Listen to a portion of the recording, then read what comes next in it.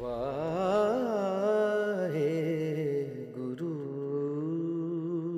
ਨਾਨਕ ਭਗਤਾਂ ਸਦਾ ਵਿਗਾਸ, ਸੁਣਿਐ ਦੁਖ ਪਾਪ ਕਾ ਨਾਸ। ਨਾਨਕ ਭਗਤਾਂ ਸਦਾ ਵਿਗਾਸ, ਸੁਣਿਐ ਦੁਖ ਪਾਪ ਕਾ ਨਾਸ। ਸ਼ੁਕਰੀਆ। ਵਿਚਾਰ ਬੀਤੇ ਕੱਲ ਜੋ ਕੀਤੀ ਉਹਨੂੰ ਸਿਰਫ ਰੈਪ ਅਪ ਕਰਦਿਆਂ ਹੋਇਆਂ ਇਹ ਉਹਨੂੰ ਇੱਕ ਵਾਰੀ ਰੀਕੈਪ ਫਿਰ ਕਰ ਲਈਏ। ਈਸ਼ਰ ਬਰਮਾ ਇੰਦ। ਗੁਰਬਾਣੀ ਦਾ ਜੋ ਮੁੱਖ ਸੰਕਲਪ ਹੈ, ਉਹ ਹੈ ਸਾਨੂੰ ਕੁਦਰਤ ਨੇ ਮਨੁੱਖ ਬਣਾਇਆ ਆ, ਅਸੀਂ ਮਨੁੱਖਵਾਦੀ ਹੋ ਕੇ ਜੀਵਨ ਜੀ ਸਕੀਏ। ਅੰਗਰੇਜ਼ੀ ਲਿਟਰੇਚਰ ਦੇ ਵਿੱਚ ਅੱਜ ਕੱਲ੍ਹ ਇਹਦੀ ਗੱਲ ਬੜੀ ਓਪਨਲੀ ਕੀਤੀ ਜਾਂਦੀ ਹੈ। ਕਿ ਵੀ usually use terminology we are human being ਉਹ ਕਹਿੰਦੇ no we are human human becoming or might be becoming. We cannot claim that we are human being until we don't exercise humanness. Human being ਸਿੱਧੇ ਤੌਰ ਤੇ ਮੈਂ claim ਕਰਾਂ ਮੈਂ ਮਨੁੱਖ ਹਾਂ। ਪਰ ਮਨੁੱਖ ਤੇ ਇੱਕ ਬਹੁਤ ਉਮਦਾ ਕੁਦਰਤੀ ਇੱਕ ਬਣਾਈ ਹੋਈ ਸ੍ਰਿਸ਼ਟੀ ਦਾ ਕਹਿ ਲਓ ਇੱਕ ਅ, ਅਸ਼ਰਫ ਮਖਲੂਕਾਤ ਹੈ ਉਹਦੀ ਅਸ਼ਰਫੀਅਤ ਹੈ am i able to actually practice that? ਇੱਥੇ ਮੁਸ਼ਕਲ ਆ ਰਹੀ ਹੈ। ਜਿਹੜਾ ਧਰਮ ਦਾ ਕਨਸੈਪਟ ਅਸੀਂ ਮੋਸਟਲੀ ਦੇਖਦੇ ਆ ਇਹ ਆਰਗੇਨਾਈਜ਼ ਰਿਲੀਜੀਅਸ ਸਕੂਲਸ ਦੇ ਵਿੱਚ ਜਾ ਕੇ ਵੀ ਇੱਕ ਗੈਂਗ ਵਾਰ ਦੀ ਤਰ੍ਹਾਂ ਚੱਲ ਰਿਹਾ ਹੁੰਦਾ ਹੈ। ਜਿਵੇਂ ਆ ਮੇਰਾ ਗੈਂਗ ਆ ਫਲਾਣੇ ਦਾ ਗੈਂਗ ਆ ਫਲਾਣੇ ਦਾ ਗੈਂਗ ਇਸ ਸਾਰੇ ਰੂਪ ਦੇ ਵਿੱਚ। ਅਜੇ ਹੁਣੇ ਬਾਬਾ ਬੰਦਾ ਸਿੰਘ ਬਹਾਦਰ ਜੀ ਦੀ ਬਾਤ ਹੋਈ, ਕਿਸੇ ਦਿਨ ਪੂਰੀ ਡਿਟੇਲ 'ਚ ਗੱਲ ਕੀਤੀ ਜਾ ਸਕਦੀ ਹੈ, ਪਰ ਟੂਕ ਮਾਤਰ ਬੇਨਤੀ ਕਰਾਂ। ਜਿਹੜਾ ਦੇਗ ਤੇਗ ਫਤਿਹ ਦਾ ਸੰਕਲਪ ਆ। ਮਨੁੱਖ ਮਨੁੱਖ ਨੂੰ ਅਬਿਊਜ਼ ਕਰੇ, ਮਨੁੱਖ ਮਨੁੱਖ ਨੂੰ ਕਹਿ ਲਓ ਉਹਦੇ ਉੱਤੇ ਜ਼ੁਲਮ ਕਰੇ ਉਸ ਨੂੰ ਆਪਣੇ ਪਰਸਨਲ ਇੰਟਰਸਟ ਲਈ ਉਹਦੀ, ਕਹਿ ਲਓ ਕਿਸੇ ਰੂਪ ਦੇ ਵਿੱਚ ਵੀ ਉਹਦੀ ਮਤਲਬ ਇਸਤੇਮਾਲੀਅਤ ਹੋ ਰਹੀ ਹੋਏ ਐਕਸਪਲੋਇਟੇਸ਼ਨ ਹੋ ਰਹੀ ਹੋਏ, ਇਹ ਇਹ ਗੈਰ ਮਾਨਵੀ ਵਰਤਾਰਾ ਹੈ। ਤੇ ਇਸ ਸਾਰੇ ਨੂੰ ਕਿਵੇਂ ਤੋੜਿਆ ਤੋੜਿਆ ਜਾ ਸਕਦਾ ਹੈ? ਅੱਜ ਕੱਲ੍ਹ ਅਸੀਂ ਡੈਮੋਕ੍ਰੇਸੀ ਕਹਿੰਦੇ ਆ ਡੈਮੋਕ੍ਰੇਸੀ ਦਾ ਮਤਲਬ ਸਿਰਫ VOTING ਕਨਸੈਪਟ ਨੂੰ ਨਹੀਂ, ਵੀ VOTING ਐਕਸਰਸਾਈਜ਼ ਹੋਗੀ ਤੇ ਡੈਮੋਕ੍ਰੇਸੀ ਹੋਗੀ ਸੋਸ਼ਲ ਡੈਮੋਕ੍ਰੇਸੀ ਫਾਈਨੈਂਸ਼ੀਅਲ ਡੈਮੋਕ੍ਰੇਸੀ ਮਤਲਬ ਹੱਕ ਹਕੂਕ ਸਾਰਿਆਂ ਦੇ ਹੋਣ, ਸਾਂਝੇ ਹੋਣ। ਜਿਹੜੀ ਦੇਗ ਫਤਿਹ ਹੈ, ਸਾਰਿਆਂ ਦੀ ਸਾਂਝੀ ਦੇਗ ਆ। ਇਹ ਪੂਰੀ ਦੁਨੀਆ ਦੇ ਵਿੱਚ ਜਿਹੜਾ ਫਿਊਡਲ ਸਟਰਕਚਰ ਆ, ਜਿਹਨੂੰ ਅਸੀਂ ਜ਼ਗੀਰਦਾਰੀ ਨਿਜ਼ਾਮ ਕਹਿੰਦੇ ਆ, ਵੀ ਕੁਝ ਲੋਕ ਨੇ ਜਿਹੜੇ ਅਰਾਊਂਡ ਮੇਨ ਰਿਸੋਰਸਸ ਨੂੰ ਯੂਜ਼ ਉਹਨਾਂ ਨੂੰ ਓਨ ਕਰਦੇ ਨੇ, ਬਾਕੀ ਬਾਕੀ ਸਾਰੇ ਵਿਚਾਰੇ ਸਟਰਗਲ ਕਰਦੇ ਨੇ। ਤੇ ਇਹ ਕੈਪੀਟਲਿਸਟਿਕ ਸੋਸਾਇਟੀ 'ਚ ਨੋ ਡਾਊਟ ਕੈਪੀਟਲਿਸਟਿਕ ਸੋਸਾਇਟੀ ਦਾ ਜਿਹੜਾ ਵਜੂਦ ਆਪਾਂ ਕਿਤਾਬਾਂ 'ਚ ਪੜ੍ਹਦੇ ਆ ਅੱਜ ਜਿਹੜਾ ਐਕਸਰਸਾਈਜ਼ ਹੋ ਰਿਹਾ ਉਹਦੇ ਨਾਲੋਂ ਕੁਆਇਟ ਡਿਫਰੈਂਟ ਆ। ਪਰ ਫਿਰ ਵੀ ਕਾਫੀ ਧਾਰਾਵਾਂ ਨੇ। ਹਰ ਸਿਸਟਮ ਦੇ ਵਿੱਚ ਉਹਨੂੰ ਤਬਦੀਲ ਕਰਨ ਵਾਸਤੇ ਜਾਂ ਉਹਦੇ ਵਿੱਚ ਹੋਰ ਜ਼ਿਆਦਾ ਪ੍ਰੋਗਰੈਸ ਕਰਨ ਵਾਸਤੇ ਪੋਟੈਂਸ਼ੀਅਲ ਹੁੰਦੀ ਹੈ, ਚੰਗਾ ਕਰਨ ਵਾਸਤੇ ਹਮੇਸ਼ਾ ਇਹਦੇ 'ਚ ਵੀ ਮੌਜੂਦ ਹੈ ਪਰ ਹਾਂ, ਜਦੋਂ ਟ੍ਰੈਡੀਸ਼ਨਲ ਵੇ ਨਾਲ ਦੇਖੀਏ ਤੇ ਉਸ ਜ਼ਗੀਰਦਾਰੀ ਨਿਜ਼ਾਮ ਨੂੰ ਤੋੜਿਆ। ਤੇ ਉਹ ਨਿਜ਼ਾਮ ਨੂੰ ਤੋੜ ਕੇ ਸਿੱਧੇ ਤੌਰ ਤੇ ਕਿਹਾ ਜ਼ਮੀਨ ਹਲਵਾਹਕ ਦੀ ਹੈ। ਮੁਜਾਰਾ ਸਟਰਕਚਰ ਖਤਮ ਕਰ ਦਿੱਤਾ। ਇਹ ਤੇ ਇਹ ਬਿਨਾਂ ਵਿਥ ਵਿਤਕਰੇ ਤੋਂ ਕੀਤਾ। ਇਹਦੇ ਚ ਇਹ ਨਹੀਂ ਕਿਹਾ ਗਿਆ ਕਿ ਕੋਈ ਅੱਛਾ ਤੂੰ ਆ ਫਲਾਣੇ ਧਰਮ ਨੂੰ ਮੰਨਣ ਵਾਲਾ ਫਲਾਣੇ ਨੂੰ ਮੰਨ ਨੋਟ ਐਟ ਆਲ ਜਿਹੜਾ ਜ਼ਮੀਨ ਵਾਹੁੰਦਾ, ਜ਼ਮੀਨ ਦੀ ਮਲਕੀਅਤ ਉਹਦੀ। ਇਹ ਇਹ ਐਕਚੁਅਲ ਰੈਵੋਲੂਸ਼ਨ ਸੀਗਾ। ਤੇ ਇਹ ਇਕੱਲਾ ਇੱਥੇ ਹੀ ਨਹੀਂਗਾ। ਫਿਰ ਅਗਲੇ ਪੜਾਅ ਦੇ ਵਿੱਚ ਵੀ ਹੈ। ਇਸ ਤੋਂ ਅਸੀਂ, ਜਿਹਨੂੰ ਅਸੀਂ ਕਹਿੰਦੇ ਆ ਕਿ ਅਧਿਆਤਮ ਤਲ ਤੇ ਜਿਹੜਾ ਇੱਕ ਸਵਰਨ ਕਰਨਾ ਬੰਦੇ ਨੂੰ ਉਸ ਨੂੰ ਆਜ਼ਾਦ ਕਰ ਦੇਣਾ ਉਸ ਨੂੰ ਕਿਸੇ ਜਕੜ ਪਕੜ 'ਚ ਰੱਖਣਾ ਹੀ ਨਹੀਂਗਾ। ਦੋ ਪੱਲੇ ਦੇ ਲੈ ਕੇ ਫਿਰ ਮੈਂ ਬਚਨ ਤੇ ਵਾਪਸ ਆ ਜਾਣਾ ਬਾਬਾ ਜੀ ਕਿਉਂ ਕਹਿ ਰਹੇ ਨੇ, ਈਸ਼ਰ ਬਰਮਾ ਇੰਦ ਇੱਕ ਐਸਾ ਦੇਵੀ ਦੇਵਤਿਆਂ ਦਾ ਸੰਕਲਪ ਬੰਦੇ ਦੀ ਜ਼ਿਹਨੀਅਤ 'ਚ ਪਾ ਦਿੱਤਾ, ਬੰਦਾ ਵਿਚਾਰਾ ਨਿਕਲ ਹੀ ਨਹੀਂ ਸਕਦਾ। ਉਸ ਨੂੰ ਮੈਂ ਉਸ ਦਿਨ ਬੇਨਤੀ ਕਰ ਰਿਹਾ ਸੀਗਾ ਛੋਟੀ ਜੀ ਕਿ ਉਹ ਪਰਿਵਾਰ ਕੈਨੇਡਾ 'ਚ ਰਹਿ ਰਿਹਾ, ਇੰਨੇ ਸਾਲ ਰਿਹਾ, ਕੈਨੇਡੀਅਨ ਬਾਰਨ ਬ੍ਰੌਟ ਅਪ ਬੱਚੇ ਵਾਪਸ ਪੰਜਾਬ ਚਲੇ ਗਏ। ਉੱਥੇ ਜਾ ਕੇ ਇੱਕ ਮਾਮੂਲੀ ਜੇ ਓਝੇ ਨੇ, ਕਿਹਾ ਤੁਹਾਨੂੰ ਸਰਾਪ ਲੱਗਾ ਕੋਈ ਮਟੀਆਂ ਦਾ। ਉਹ ਵਿਚਾਰੇ ਇਸੇ ਚੱਕਰ ਦੇ ਵਿੱਚ ਬੱਚੇ ਦੀ ਜਿਹੜੀ ਪੋਟੈਂਸ਼ੀਅਲ ਸੀ ਥੋੜੀ ਬਹੁਤੀ ਉਹਦੇ ਸੁਧਰਨ ਦੀ ਉਹ ਵੀ ਜਾਂਦੀ ਲੱਗੇ। ਮਤਲਬ ਇਹ ਇੰਨੀ ਡੀਪ ਪਿਆ ਹੁੰਦਾ। ਡਾਕਟਰ ਅੰਬੇਡਕਰ ਦੀ ਗੱਲ ਕਈ ਵਾਰੀ ਕੋਟ ਕੀਤੀ ਜਾਂਦੀ ਹੈ। ਜਦੋਂ ਜਰਮਨ ਸੀਗਾ ਨਾ, ਤੇ ਉੱਥੇ ਉਹ ਇੱਕ ਜਰਮਨ ਪ੍ਰੋਫੈਸਰ ਦੇ ਨਾਲ ਬਹਿਸ ਕਰਦਾ ਤੇ ਉਹ ਕਹਿੰਦਾ ਕਿ ਤੁਸੀਂ ਕਹਿੰਦੇ ਹੋ ਕਿ ਤੁਹਾਨੂੰ ਅਨਟੱਚੇਬਲ ਬਣਾ ਰਿਹਾ ਬ੍ਰਾਹਮਣ। ਬ੍ਰਾਹਮਣ ਦੀ ਵੰਡ ਮੁਤਾਬਕ ਤੁਸੀਂ ਅਨਟੱਚੇਬਲ ਹੋ, ਅਛੂਤ ਹੋ ਤੁਸੀਂ। ਉਹ ਕਹਿੰਦਾ ਰੇ ਤੁਸੀਂ ਮੰਨੋ ਹੀ ਨਾ, ਕੀ ਫ਼ਰਕ ਪਏਗਾ? ਉਹ ਕਹਿੰਦਾ ਰੇ ਤੁਸੀਂ ਮੰਨੋ ਨਾ। ਅੰਬੇਡਕਰ ਬੜਾ ਹੱਸਿਆ। ਕਹਿੰਦਾ ਪ੍ਰੋਫੈਸਰ, ਤੂੰ ਬਹੁਤ ਨਾਈਵ ਆ। ਤੈਨੂੰ ਕੁਝ ਵੀ ਨਹੀਂ ਪਤਾ। ਉਹ ਕਹਿੰਦਾ what do you mean by saying it ਕਹਿੰਦਾ ਯੂ نو ਜਿਹੜੀ ਇੰਡੀਅਨ ਸੋਸਾਇਟੀ ਹੈ ਨਾ ਨੂੰ ਬੜੇ ਗੌਰ ਨਾਲ ਦੇਖ। ਇਹਦਾ ਜਿਹੜਾ ਸਟਰਕਚਰ ਆ, ਇਹ ਬੜਾ ਸੈਕ੍ਰੇਟ ਵੇ ਨਾਲ, ਬੜੇ ਧਾਰਮਿਕਤਾ ਦੇ ਰੰਗ 'ਚ ਰੰਗ ਕੇ ਇਹ ਵਰਨ ਵੰਡ ਤੇ ਜਾਤ ਵੰਡ ਲਿਆਂਦੀ ਗਈ ਇਹ ਐਵੇਂ ਨਹੀਂ ਆਈ ਇਹਦੇ ਵਿੱਚ ਇਸ ਤਰੀਕੇ ਨਾਲ ਬੰਦੇ ਨੂੰ ਅੰਦਰੋਂ ਡਰਾਇਆ ਗਿਆ ਕਿ ਤੂੰ ਨਾ ਜੇ ਆ ਚੀਜ਼ਾਂ ਨਾ ਕੀਤੀਆਂ, ਤੇ ਤੇਰਾ ਧਰਮ ਟੁੱਟ ਜਾਏਗਾ, ਤੇ ਤੈਨੂੰ ਪਾਪ ਲੱਗੇਗਾ। ਇਹ ਤੇ ਬਾਣੀ ਪੜਦੇ ਆ, ਸਾਨੂੰ ਸਮਝ ਆਈ, ਪਾਪ ਪੁੰਨ ਦੋਏ ਭਈ ਕਹਾਵਤ। ਇਹ ਬੰਦਿਆਂ ਦੀ ਕੋਹਬਤ ਤੋਂ ਕੁਛ ਨਹੀਂਗਾ ਹਾਂ, ਪੁੰਨੀ ਪਾਪੀ ਅੱਖ ਨਾ ਹੈ ਕਰ ਕਰ ਕਰਨਾ, ਇਹ ਅਸੀਂ ਅੱਗੇ ਜਾ ਕੇ ਪੜਾਂਗੇ। ਉਹ ਲੇਖੇ ਦਾ ਸੰਕਲਪ ਐਗਜ਼ੈਕਟਲੀ ਡਿਫਰੈਂਟ ਵੇ ਨਾਲ ਆਵੇਗਾ। ਪਰ ਬਾਬਾ ਜੀ ਨੇ ਕਿਹਾ be your own teacher be your own prophet ਤੂੰ ਆਪ ਬਣ ਜਾ। ਸੁਣਿਆ ਉਸ ਸੱਚ ਦੇ ਅਹਿਸਾਸਾਂ ਨੂੰ ਸੁਣ ਤੇ ਉਹਨਾਂ ਅਹਿਸਾਸਾਂ ਲਈ ਕਿਤੇ ਦੂਰ ਵੀ ਨਾ ਜਾਈ। ਇਸ ਰੂਪ ਵਿੱਚ ਸਾਨੂੰ ਆਟੋਨਮੀ ਦੇ ਦਿੱਤੀ ਕਿ ਸਾਨੂੰ ਉਹਨਾਂ ਨੇ ਜਿਹੜਾ ਆ ਬਾਣੀ ਦੇ ਦਿੱਤੀ, ਬਿਲਕੁਲ ਸੱਚ ਸਰੂਪ।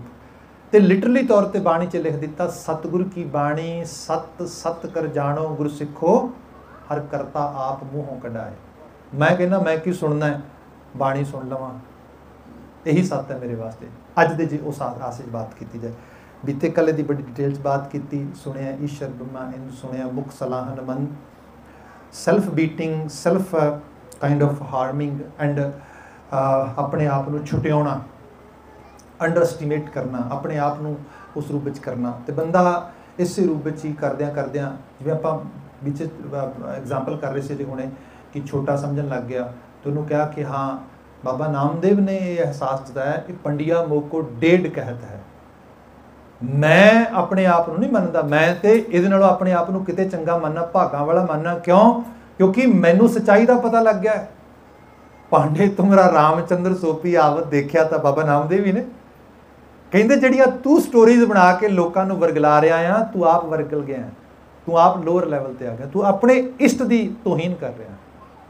ਇਹ ਜਿਹਨੂੰ ਭਾਈ ਗੁਰਦਾਸ ਜੀ ਕਹਿੰਦੇ ਜਾਣਤ ਹੈ ਉਸਤਤ, ਕਰਤ ਹੈ ਨਿੰਦਾ ਮੂੜ, ਐਸੇ ਹੀ ਅਰਾਧ ਬੇਤੇ ਮੋਨ ਸੁਖਦਾਈ ਹੈ। ਸੋਚਦਾ ਮੈਂ ਸਤੁਤੀ ਕਰ ਰਿਹਾ, ਕਰ ਉਹਦੀ ਨਿੰਦਾ ਰਿਹਾ ਬਾਬਾ ਨਾਮਦੇਵ ਜੀ ਨੇ ਇਸ ਰੂਪ ਵਿੱਚ ਬਾਤ ਲਿਆਂਦੀ ਕਿ ਤੂੰ ਆਪ ਹੀ ਆਪਣੇ ਕਹੇ ਨੂੰ ਦੇਖ ਥੋੜੇ ਨੂੰ। ਬਾਕੀ ਗੱਲ ਰਹੀ, ਹਾਂ, ਮੈਂ ਇਹਦੇ ਤੋਂ ਆਜ਼ਾਦ ਹੋ ਗਿਆ। ਮੁਖ ਸਲਾਹਨ ਮੰਦ, ਉਹ ਜਿਹੜਾ ਮੁਖ ਜਿਹਨੂੰ ਕਿਹਾ ਗਿਆ ਕਿ ਇਹ ਤੇ ਮੰਦਾ ਆਇਆ, ਕਿਸੇ ਨੇ ਆਪ ਹੀ ਰਿਅਲਾਈਜ਼ ਕਰ ਲਿਆ ਜੀ, ਮੇਰੇ ਤੋਂ ਕੋਈ ਚੰਗੀ ਗੱਲ ਨਹੀਂ ਹੋ ਸਕਣੀ। ਮੈਂ ਕੋਈ ਚੰਗੇ ਕੰਮ ਨਹੀਂ ਕਰ ਸਕਦਾ, ਮੈਂ ਕੋਈ ਚੰਗਾ ਬਚਨ ਨਹੀਂ ਬੋਲ ਸਕਦਾ। ਬਾਬਾ ਜੀ ਕਿਹਾ, ਮੰਦਾ ਮਨੁੱਖ ਵੀ ਮੋਹ ਰੱਬ ਦੀਆਂ ਸਿਫਤਾਂ ਕਰਨ ਲੱਗ ਜਾਂਦਾ, ਮੁਰਾਦ ਉਸ ਲੈਵਲ ਤੇ ਆ ਜਾਂਦਾ। ਇੱਥੋਂ ਤੱਕ ਆਪਾਂ ਬਾਤ ਕਰ ਲਈ ਸੀ ਹੁਣ, ਜੋਗ ਜੁਗਤ ਤਨ ਭੇਦ। ਦੇਖੋ, ਜੋਗ ਜਿਸ ਨੂੰ ਅਸੀਂ ਯੋਗਾ ਕਹਿੰਦੇ ਆ ਇਹਦੇ ਬਾਬਤ ਇੱਕ ਐਕਸਰਸਾਈਜ਼ ਦੇ ਰੂਪ ਵਿੱਚ ਬੜੀ ਗੱਲ ਕੀਤੀ ਜਾਂਦੀ ਅੱਜ ਦੀ ਦੁਨੀਆ ਦੇ ਜਿਹਦੇ ਇਹਦੇ ਵਿੱਚ ਤੇ ਇਹਦੀ ਜੇ ਤੁਸੀਂ ਡੈਫੀਨੇਸ਼ਨ ਬੜੇ ਧਿਆਨ ਨਾਲ ਦੇਖੋ ਨਾ ਕਿ ਇਹ એનર્ਜੀ ਹੈ ਸਾਰੀ ਤੇ ਇਸ એનર્ਜੀ ਨੂੰ ਅਸੀਂ ਸਾਰੇ ਕੰਟਰੀਬਿਊਟ ਕਰਦੇ ਹਾਂ ਕਹਿੰਦੇ ਨੇ when you're contributing your energy without any kind of uh, uh, you can say production or without any kind of meanings that mean you're doing yoga ਜਦੋਂ ਕੁਝ ਹੋਰ ਮਤਲਬ ਕਿਸੇ ਰੂਪ ਵਿੱਚ ਨਹੀਂਗਾ ਸਿਰਫ ਆਪਣੇ ਉਸ એનર્ਜੀ ਨੂੰ ਲਗਾ ਰਹੇ ਹਾਂ ਉਸ ਤਰੀਕੇ ਨਾਲ। ਹਾਂ, ਬਦਲਦੇ ਸਮਾਜ ਦੇ ਵਿੱਚ ਮਸ਼ੀਨੀ ਯੁੱਗ ਵੱਧ ਗਿਆ ਫਿਜ਼ੀਕਲ ਐਕਸਰਸਾਈਜ਼ ਬਹੁਤੀ ਰਹੀ ਨਹੀਂ। ਇਸ ਕਰਕੇ ਇਹੋ ਜਿਹੀ ਐਕਸਰਸਾਈਜ਼ ਜਿਮ ਕਲਚਰ ਆ ਗਿਆ। ਜਿਮ ਕਲਚਰ 'ਚ ਜਿਮ ਨੂੰ ਲੈ ਲਿਆ ਜਾ ਉਸ ਰੂਪ ਵਿੱਚ। ਪਰ ਜੇ ਧਿਆਨ ਨਾਲ ਦੇਖਾਂਗੇ, ਘਰਾਂ, ਥਾਵਾਂ ਤੇ ਕੰਮ ਕਰਨਾ, ਮਤਲਬ ਤੁਸੀਂ ਪੂਰਾ ਘਰ ਦਾ ਜਿਹੜਾ ਹਾਊਸ ਹੋਲਡ ਦੇ ਹੋਮ ਚੋਰਸ ਨੇ, ਉਹਨਾਂ ਸਾਰਿਆਂ ਨੂੰ ਐਫਰਟ ਪਾ ਕੇ ਕਰੋ। ਆਲੇ ਜਹਾਂ ਸਫ਼ਾਈ, ਤਹਾਂ ਖੁਦਾਈ। ਉੱਥੇ ਹੈ ਇੰਸਟੀਟਿਊਸ਼ਨ ਵਿੱਚ ਵਰਕ ਆ ਆਲੇ ਦੁਆਲੇ ਵਰਕ ਆ ਪਾਰਕ, ਗਾਰਡਨ, ਕੀ ਕੁਛ ਨਹੀਂ ਚਾਰ ਚਪੇਰੇ ਹੈਗਾ। ਤੁਸੀਂ ਕੰਟਰੀਬਿਊਟ ਕਰਨਾ ਚਾਹੋ ਤੇ ਕੀ ਕੁਛ ਨਹੀਂ ਕਰ ਸਕਦੇ। ਪਰ ਬਦਲਦੇ ਸਿਨੈਰੀਓ ਦੇ ਵਿੱਚ ਇਹਨਾਂ ਤਰ੍ਹਾਂ ਦਾ ਫੀਨੋਮੀਨਾ ਡਿਵੈਲਪ ਹੋ ਗਿਆ। ਹਾਂ, ਜੇ ਬਹੁਤ ਹੋਰ ਗੌਰ ਨਾਲ ਦੇਖੀਏ ਤੇ ਜਿਵੇਂ ਸਾਡੇ ਉੱਥੇ ਪਿਛਲੇ ਕਾਫੀ ਸਮੇਂ ਤੋਂ ਡੇਰੇਵਾਦ ਦਾ ਕਾਫੀ ਪ੍ਰਭਾਵ ਰਿਹਾ, ਤੋਂ ਡੇਰੇਵਾਦ ਨੇ ਵੀ ਕੁਝ ਯੋਗਿਕ ਕਿਰਿਆਵਾਂ ਨੂੰ ਨਾਲ ਜੋੜਿਆ। ਉਹ ਸਿਰਫ ਫਿਜ਼ੀਕਲ ਨਹੀਂ ਹੁੰਦੀਆਂ ਮੈਂਟਲੀ ਵੀ ਹੁੰਦੀਆਂ ਨੇ। ਮਤਲਬ ਬਿਲਕੁਲ ਜਿਹਨੂੰ ਅਸੀਂ ਬਚਨ ਪੜ੍ਹਦੇ ਆ ਰਹੇ ਸੀ ਪਿੱਛੇ ਕਿ ਮਤਲਬ ਲਿਵ ਤਾਰ ਲਾਉਣਾ। ਚੁੱਪੈ ਚੁੱਪ ਨਾ ਹੋਵੇ, ਜੇ ਲਾਏ ਰਹਾ ਲਿਵਤਾਰ ਇੱਕ ਥਾਟ ਦੇ ਉੱਤੇ, ਇੱਕ ਜਗ੍ਹਾ ਤੇ ਇਸ ਤਰੀਕੇ ਨਾਲ ਕਨਸੈਂਟਰੇਟ ਕਰਨਾ। ਇਹ ਜਿਹੜੀਆਂ ਬ੍ਰੇਨ ਦੀਆਂ ਨਸਾਂ ਨੇ, ਇਹਨਾਂ ਨੂੰ ਤੁਸੀਂ ਬਿਨਾਂ ਵਜ੍ਹਾ ਸਟ्रेस ਦੇਵੋਗੇ ਤੇ ਪੋਸਿਬਿਲਿਟੀ ਹੈ ਤੁਹਾਨੂੰ ਇੱਕ ਲਗਾਤਾਰਤਾ ਨਾਲ ਕੁਝ ਮਾਈਗ੍ਰੇਨ ਵਰਗੀਆਂ ਚੀਜ਼ਾਂ ਸ਼ੁਰੂ ਹੋ ਜਾਣ। ਇਹਨਾਂ ਨੂੰ ਬ੍ਰੇਨ ਨੂੰ ਰਿਲੈਕਸ ਰੱਖਣਾ, ਇਹਨੂੰ ਉਸ ਤਰੀਕੇ ਨਾਲ ਕਰਨਾ, ਇਹ ਸਾਰੇ ਦੇ ਬਾਬਤ ਗੱਲ ਕੀਤੀ ਜਾਂਦੀ। ਜਿਹੜੀ ਮੇਨ ਗੱਲ ਹੈ, ਉਹ ਤੇ ਹੈ ਥਾਟ ਪ੍ਰੋਸੈਸ ਦੀ। ਥਾਟ ਪ੍ਰੋਸੈਸ ਜਿਹੜਾ ਆ, ਇਹ ਫਿਜ਼ੀਕਲ ਐਲੀਮੈਂਟ ਦੇ ਰੂਪ ਵਿੱਚ ਨਹੀਂ ਆਉਂਦਾ। ਇਹ ਤੇ ਖਿਆਲਾਂ ਦੀ ਉਸ ਬੰਤਰ ਵਿੱਚੋਂ ਆਉਂਦਾ। ਪਰ ਬੰਦੇ ਨੇ ਕਿਹਾ, ਨਹੀਂ ਨਹੀਂ ਐਕਚੁਅਲੀ ਕੁਝ ਖਾਸ ਕਿਸਮ ਦੀ ਐਕਟੀਵਿਟੀਜ਼ ਦੇ ਨਾਲ ਮੈਂ ਕੁਝ ਕਰ ਲਵਾਂਗਾ। ਇਹਨੂੰ ਥੋੜਾ ਜਿਹਾ ਐਗਜ਼ਾਮਪਲ ਹੋਰ ਇੱਕ ਇੱਕ ਨਾਲ ਪਾ ਦਿੰਨਾ ਇਹਦੇ। ਅ ਇਸ ਤਰ੍ਹਾਂ ਜਾਣੀ ਹੈ ਕਿ ਸਰੀਰ ਹੈ એનર્ਜੀ ਹੈ ਇਸ ਨੇ ਟਾਈਮ ਪਾ ਕੇ ਆਪਣੇ ਆਪ ਵਿੱਚ ਲੱਗ ਜਾਣਾ ਹੈ। ਇਸ ਨੂੰ ਤੁਸੀਂ ਜਿੰਨਾ ਮਰਜ਼ੀ ਸੰਭਾਲ ਲਓ, ਜਿੰਨਾ ਮਰਜ਼ੀ ਕਰ ਲਓ। ਇੱਕ ਸਰਟਨ ਅਮਾਉਂਟ ਆਫ ਟਾਈਮ ਦਿੱਤਾ ਕੁਦਰਤ ਨੇ, ਉਹਦੇ ਅਕੋਰਡਿੰਗਲੀ ਚਲੇ ਜਾਣਾ ਅੱਜ ਕੱਲ ਹੁਣ ਤਾਂ ਸ਼ਾਇਦ ਸਾਰਾ ਕਰਨ ਲੱਗੇ ਨਹੀਂ ਤੇ ਅਦਰਵਾਈਜ਼ ਜਦੋਂ ਤੱਕ ਮੇਰੀ ਇਨਫੋਰਮੇਸ਼ਨ ਹੈ ਲਾਸਟ ਜਾਣਕਾਰੀ ਜਦੋਂ ਤੱਕ ਮੈਂ ਪੜ੍ਹੀ ਸੀਗੀ ਇਨਫੋਰਮੇਸ਼ਨ ਜਿਹੜੀ ਹੈ ਰਿਟਰੀਵ ਕੀਤੀ ਸੀ ਉਹਦੇ ਅਕੋਰਡਿੰਗਲੀ ਜਿਹੜਾ ਨਾੜੂਏ ਦਾ ਖੂਨ ਹੁੰਦਾ ਨਾ ਬੱਚੇ ਦਾ, ਉਹ ਦੋ ਹਸਪੀਟਲ ਦੇ ਵਿੱਚ ਆਪਣੇ ਆਪ ਪ੍ਰੀਜ਼ਰਵ ਕਰਦੇ ਨੇ ਉਹ, ਜਾਂ ਆਪਸ਼ਨਲ ਹੁੰਦਾ ਉੱਤੇ ਤੁਸੀਂ ਲਿਖ ਕੇ ਦਿੰਦੇ ਹੋ। ਇੱਕ ਬ੍ਰੈਂਟਨ ਹੈ, ਇੱਕ ਸ਼ਾਇਦ ਐਡਮਿੰਟਨ ਹੈ। ਦੂਜੇ ਜਗ੍ਹਾ ਤੇ ਕਰਾਉਣਾ ਹੋਏ ਤੇ ਉੱਥੇ ਤੁਹਾਨੂੰ ਸਪੈਸ਼ਲ ਜਿਹੜੀ ਹੈ, ਉਹ ਪੇ ਕਰਨਾ ਪੈਂਦਾ ਉਹਦੇ ਲਈ ਜਿਹੜਾ ਲੁਕੀਮੀਆ ਵਗੈਰਾ ਹੈਗਾ, ਉਹਦੇ ਟ੍ਰੀਟਮੈਂਟ ਵਾਸਤੇ ਫਰਦਰ ਟਾਈਮ ਵਿੱਚ ਉਹ ਬਹੁਤ ਹੈਲਪਫੁਲ ਚੀਜ਼ ਹੈ ਜਾਂ ਜਿਹੜੀ ਅੱਜ ਅੱਜਕੱਲ ਸਟੈਮ ਸੈੱਲ ਦੀ ਗੱਲ ਹੋ ਰਹੀ ਹੈ, ਉਹਦੇ ਉੱਤੇ ਬਹੁਤ ਹੈਲਪਫੁਲ ਹੈ ਪਰ ਹੋਰ ਜੇ ਅਸੀਂ ਲੈਬੋਰੇਟਰੀ ਦੇ ਵਿੱਚ ਪਾਓਗੇ, ਤੇ ਉਹ ਜਿਹੜਾ ਉਹਦੀ ਬਲੱਡ ਕੋਡ ਹੁੰਦਾ ਉਸ ਨੂੰ ਜੇ ਪਾ ਕੇ ਲੈਬ ਵਿੱਚ ਪ੍ਰੋਪਰਲੀ ਟੈਸਟ ਕੀਤਾ ਜਾਏ, ਉਹ ਜਿਹੜਾ ਫਿਜ਼ੀਕਲ ਸਟਰਕਚਰ ਬਣ ਕੇ ਆਇਆ, ਜੇ ਸਾਰੇ ਹਾਲਾਤ ਉਸ ਨੂੰ ਨਾਰਮਲ ਮਿਲਦੇ ਨੇ, ਉਸ ਫਿਜ਼ੀਕਲ ਸਟਰਕਚਰ ਨੇ ਧਰਤੀ ਤੇ ਕਿੰਨਾ ਸਮਾਂ ਆਪਣੀ ਐਗਜ਼ਿਸਟੈਂਸ ਨੂੰ ਮੰਨਣਾ ਆ ਉਹ ਬਲੱਡ ਲਾਈਨ ਜਿਹੜੀ ਦੱਸ ਦਿੰਦੀ ਹੈ। ਐਗਜ਼ੈਕਟਲੀ ਜੇ ਤੁਸੀਂ ਹਾਲਾਤ ਕੰਡੀਸ਼ਨਸ ਬਦਲ ਜਾਣ ਤਾਂ ਇਟਸ ਡਿਫਰੈਂਟ ਸਟੋਰੀ ਕਿਉਂਕਿ ਕਈ ਵਾਰ ਦਾ ਤੁਹਾਡਾ এনवायरमेंट ਬਹੁਤ ਲੈਵਲ ਤੇ ਖਰਾਬ ਹੋ ਜਾਂਦਾ ਹੈ, ਕੋਈ ਐਕਸੀਡੈਂਟ ਹੋ ਜਾ ਕੁਝ। ਅਦਰਵਾਈਜ਼ ਉਹ ਚੀਜ਼ ਦੱਸ ਦਿੰਦੀ ਸੋ ਉਹਦੇ ਚ ਮਤਲਬ ਜੇ ਐਗਜ਼ੈਕਟ ਸੇਮ ਰੱਖਿਆ ਜਾਏ, ਤੇ ਇੱਕ ਪਲ ਦਾ ਵੀ ਇਜ਼ਾਫੇ ਤੇ ਜਾਂ ਉਹਦੇ ਚ ਲੋਅਰ ਲੈਵਲ ਨਹੀਂ ਲਿਆ ਜਾ ਸਕਦਾ। ਸੋ ਬੰਦਾ ਬੰਦਾ ਕਹੇ ਵੀ ਮੈਂ ਆ ਕਰਾਂਗਾ ਆ ਕਰਾਂਗਾ, ਜ਼ਿਆਦਾ ਜੀ ਲਾਂਗਾ, ਘੱਟ ਜੀ ਲਾਂਗਾ ਜਾਂ ਘੱਟ ਜੀਣ ਤੋਂ ਬਚ ਜਾਗਾ, ਇਸ ਤਰੀਕੇ ਨਾਲ ਨਹੀਂ ਹੁੰਦਾ। ਪਰ ਹਾਂ ਇਹ ਹੈ ਕਿ ਜੀਵਨ ਜਿਸ ਕਿਸਮ ਦਾ ਹੋ ਗਿਆ ਸਾਡਾ, ਉਹਦੇ ਵਿੱਚ ਹੁਣ ਆਪਾਂ ਕੈਮੀਕਲ ਬੇਸਡ ਫੂਡ ਖਾ ਰਹੇ ਹਾਂ ਸਾਰਾ ਇੰਡਸਟਰੀਅਲ ਪ੍ਰੋਸੈਸਡ ਫੂਡ ਹੈ ਸਾਰਾ। ਉਹ ਸਾਰੇ ਦੇ ਨਾਲ ਫਿਜ਼ੀਕਲ ਚੈਲੰਜਸ ਵੱਧ ਗਏ ਨੇ। ਕਰਨਾ ਕੀ ਹੈ? ਚਲੋ ਹੋਰ ਕੁਝ ਨਹੀਂ ਐਕਸਰਸਾਈਜ਼ ਕਰੋ। ਐਕਸਰਸਾਈਜ਼ ਦੇ ਵਿੱਚ ਯੋਗਾ, ਠੀਕ ਹੈ ਕਹਿੰਦੇ ਬੈਸਟ ਐਕਸਰਸਾਈਜ਼ ਕਰੋ, ਇਹਦੇ ਵਿੱਚ ਹੈਲਪ ਹੈਲਪ ਮਿਲੇਗੀ ਉਸ ਰੂਪ ਵਿੱਚ। ਅੱਛਾ, ਕਈਆਂ ਨੂੰ ਜੇ ਉਹ ਪ੍ਰੋਪਰ ਨਹੀਂ ਕਰਨਾ ਹੁੰਦਾ ਜੇ ਨਹੀਂ ਉਸ ਢੰਗ ਤਰੀਕੇ ਨਾਲ ਤੇ ਉਹ ਨੁਕਸਾਨ ਵੀ ਕਰ ਲੈਂਦੇ, ਤੇ ਵੱਡੇ ਪੱਧਰ ਤੇ ਨੁਕਸਾਨ ਹੋ ਜਾਂਦਾ। ਮਤਲਬ ਇਹ ਜਿਸ ਚੀਜ਼ ਬਾਰੇ ਨਹੀਂ ਪਤਾ ਜਿਵੇਂ ਸਪੋਜ਼ ਕਰੋ ਮੈਂ ਜੋਗਿੰਗ ਕਰਦਾ ਰਨਿੰਗ ਕਰਦਾ ਰਨਿੰਗ ਕਰਦਾ ਕਿਸੇ ਨੂੰ ਵੇਖ ਕੇ ਸਵੇਰੇ ਇੱਕ ਬੰਦਾ ਮੈਂ ਦੇਖਦਾ ਭੱਜਦਾ, ਚੱਲ ਮੈਂ ਵੀ ਫਟਾਫਟ ਪਾਏ ਆਪਣੇ ਜਿਹੜੇ ਨੇ ਸਪੋਰਟ ਸ਼ੂ ਤੇ ਭੱਜਣ ਲੱਗ ਗਿਆ। ਭਲਿਆ, ਆਪਣੀ ਏਜ ਆਪਣੀ ਜਿਹੜੀ ਹੈ ਫਿਜ਼ੀਕਲ ਐਬਿਲਿਟੀ ਸਾਰਾ ਕੁਝ ਦੇਖ। ਹੁਣ ਜੇ ਇਹ ਗੋਡੇ ਨੇ, ਇਹਨਾਂ ਦੇ ਉੱਤੇ ਥੱਲੇ ਵਾਲੇ ਮਸਲਸ ਤੁਹਾਡੇ ਪ੍ਰੋਪਰ ਡਿਵੈਲਪ ਨਹੀਂ ਹੋਏ, ਤੇ ਤੁਸੀਂ ਤੁਸੀਂ ਇੱਕਦਮ ਆਊਟ ਆਫ ਦਾ ਵੇ ਜਾ ਕੇ ਪਹਿਲੇ ਦਿਨ ਹੀ ਰਨਿੰਗ ਕਰਨ ਲੱਗ ਗਏ। ਦੋ ਹਫ਼ਤੇ ਨਹੀਂ ਕਰੋਗੇ, ਦੋ ਹਫ਼ਤਿਆਂ ਦੇ ਵਿੱਚ ਗੋਡੇ ਚਲੇ ਜਾਣਗੇ। ਲਿਟਰਲੀ ਤੌਰ ਤੇ। ਇਹ ਨਹੀਂ ਤੁਸੀਂ ਕਰ ਨਹੀਂ ਸਕਦੇ, ਕਰੋ, ਪਰ ਉਸ ਰੂਪ ਵਿੱਚ ਕਰੋ ਕਿ ਜਿਹਦੇ ਵਿੱਚ ਤੁਹਾਨੂੰ ਐਟਲੀਸਟ ਪਹਿਲਾਂ ਐਸੀ ਐਬਿਲਿਟੀ ਵਧਾਓ। ਕੋਈ 3 ਮਹੀਨੇ ਤੇਜ਼ ਵਾਕ ਕਰੋ ਹੌਲੀ ਹੌਲੀ ਕਰਕੇ ਉਹਨੂੰ ਇੰਪਰੂਵ ਕਰੋ, ਤਾਂ ਕਿ ਇਹ ਵੱਧ ਜਾਏ, ਫਿਰ ਤੁਸੀਂ ਕਰ ਲਵੋ। ਇਨ ਬਿਨ ਜਿਹੜੇ ਸਰੀਰ ਦੇ ਗੋਡੇ, ਗਿੱਟੇ, ਸੱਜੇ ਖੱਬੇ ਮੋੜਨੇ ਸਾਰਾ ਕੁਝ, ਠੀਕ ਹੈ, ਕਰ ਲਓ। ਜੇ ਕਿਤੇ ਇੱਕ ਵਾਰੀ ਇਹਦੀਆਂ ਮੁਰਕੀਆਂ ਆਲੇ ਦੁਆਲੇ ਕਿਤੇ ਭੁਰ ਗਈਆਂ ਕੁਝ ਹੋ ਗਿਆ ਡਨ ਮਤਲਬ ਪਤਾ ਨਹੀਂ, ਪੇਟ ਘਟੇਗਾ ਕਿ ਨਹੀਂ ਘਟੇਗਾ ਔਯਮ ਔਯਮ ਕਰਕੇ। ਇਹ ਜ਼ਰੂਰ ਹੈ ਵੀ ਗੋਡਿਆਂ ਤੋਂ ਬੰਦਾ ਜ਼ਿਆਦਾ ਲੱਗੇਗਾ। ਸੋ ਇਸ ਲਈ ਤਰੀਕੇਕਾਰਤਾ ਉਸ ਉਸ ਰੂਪ ਵਿੱਚ ਅਪਣਾਈ ਜਾਏ। ਬਾਕੀ ਗੱਲ ਰਹਿ ਗਈ ਆ ਮੈਂ ਜੋ ਬੇਨਤੀ ਕੀਤੀ, ਸਾਡੀ ਆਰ, ਖੁਰਾਕ ਸਾਰੀ ਬਦਲ ਗਈ, ਸਭ ਚੀਜ਼ਾਂ ਹੋ ਗਈਆਂ। ਬੰਦੇ ਨੂੰ ਕਹਿੰਦਾ ਵੀ ਚਲੋ ਕੁਝ ਕਰਨਾ ਹੈ ਕੁਝ ਨਾ ਕੁਝ ਤੇ ਕਰਾਂਗੇ ਨਾ ਆਪਾਂ। ਚਲੋ ਫਿਜ਼ੀਕਲ ਐਕਸਰਸਾਈਜ਼ ਮੈਂ ਹੋਰ ਨਹੀਂ ਕਰਦਾ, ਮੈਂ ਬੈਠ ਕੇ ਨਾ ਥੋੜਾ ਸਾਹ ਨਹੀਂ ਉੱਤੇ ਥੱਲੇ ਕਰਦਾ। ਇਹੋ ਜਿਹੀਆਂ ਚੀਜ਼ਾਂ ਲੋਕੀ ਕਈ ਵਾਰ ਸਮਝਦੇ ਕਿ ਮੇਰੇ ਲਈ ਹੈਲਪਫੁਲ ਹੋਣਗੀਆਂ। ਇਹਨੂੰ ਵੀ ਯੋਗਾ ਸਮਝਿਆ ਗਿਆ। ਇਸ ਤਰੀਕੇ ਨਾਲ ਕੀ ਕਰ ਲਿਆ ਗਿਆ। ਮਿਸਾਲੀ ਤੌਰ ਤੇ ਦੇਖਣਾ ਹੋਏ ਜਦੋਂ ਪੈਂਡੈਮਿਕ ਆਈ ਨਾ ਕੋਵਿਡ 19 ਆਇਆ ਜਦੋਂ, ਤੇ ਤੁਸੀਂ ਦੇਖਿਆ ਹੋਣਾ ਗਰੋਸਰੀ ਸਟੋਰਸ ਤੇ ਗਰੋਸਰੀ ਮੁੱਕ ਗਈ ਸੀ। ਇਹੋ ਜਿਹੀਆਂ ਚੀਜ਼ਾਂ ਮੁੱਕ ਗਈਆਂ ਜਿਨ੍ਹਾਂ ਬਾਰੇ ਸੋਚਿਆ ਨਹੀਂ ਜਾ ਸਕਦਾ। ਟਾਇਲਟ ਪੇਪਰ ਮੁੱਕ ਗਏ, ਹੋਰ ਇਹੋ ਜਿਹੀਆਂ ਚੀਜ਼ਾਂ ਮੁੱਕ ਗਈਆਂ। ਅੱਛਾ, ਇਹਦਾ, ਇਹ ਨਹੀਂ ਸਪਲਾਈ ਘਟ ਗਈ ਪਿੱਛੋਂ ਜਾਂ ਉਹ ਸਭ ਕੁਝ ਸੀਗਾ, ਇੱਕਦਮ ਲੋਕੀ ਭੱਜ ਕੇ ਦੌੜ ਕੇ ਬਾਏ ਕਰਨ ਲੱਗੇ ਬਾਅਦ।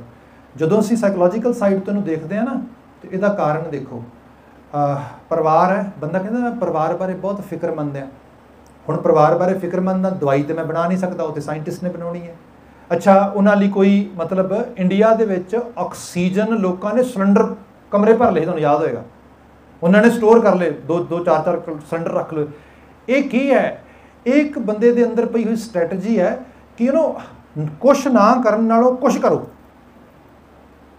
If you are not doing actually anything that's not good ਕੁਛ ਨਾ ਕੁਛ ਤੇ ਕਰੋ। ਮੈਂ ਪਰਿਵਾਰ ਨੂੰ ਬਚਾਉਣ ਲਈ ਕੀ ਕਰ ਰਿਹਾ?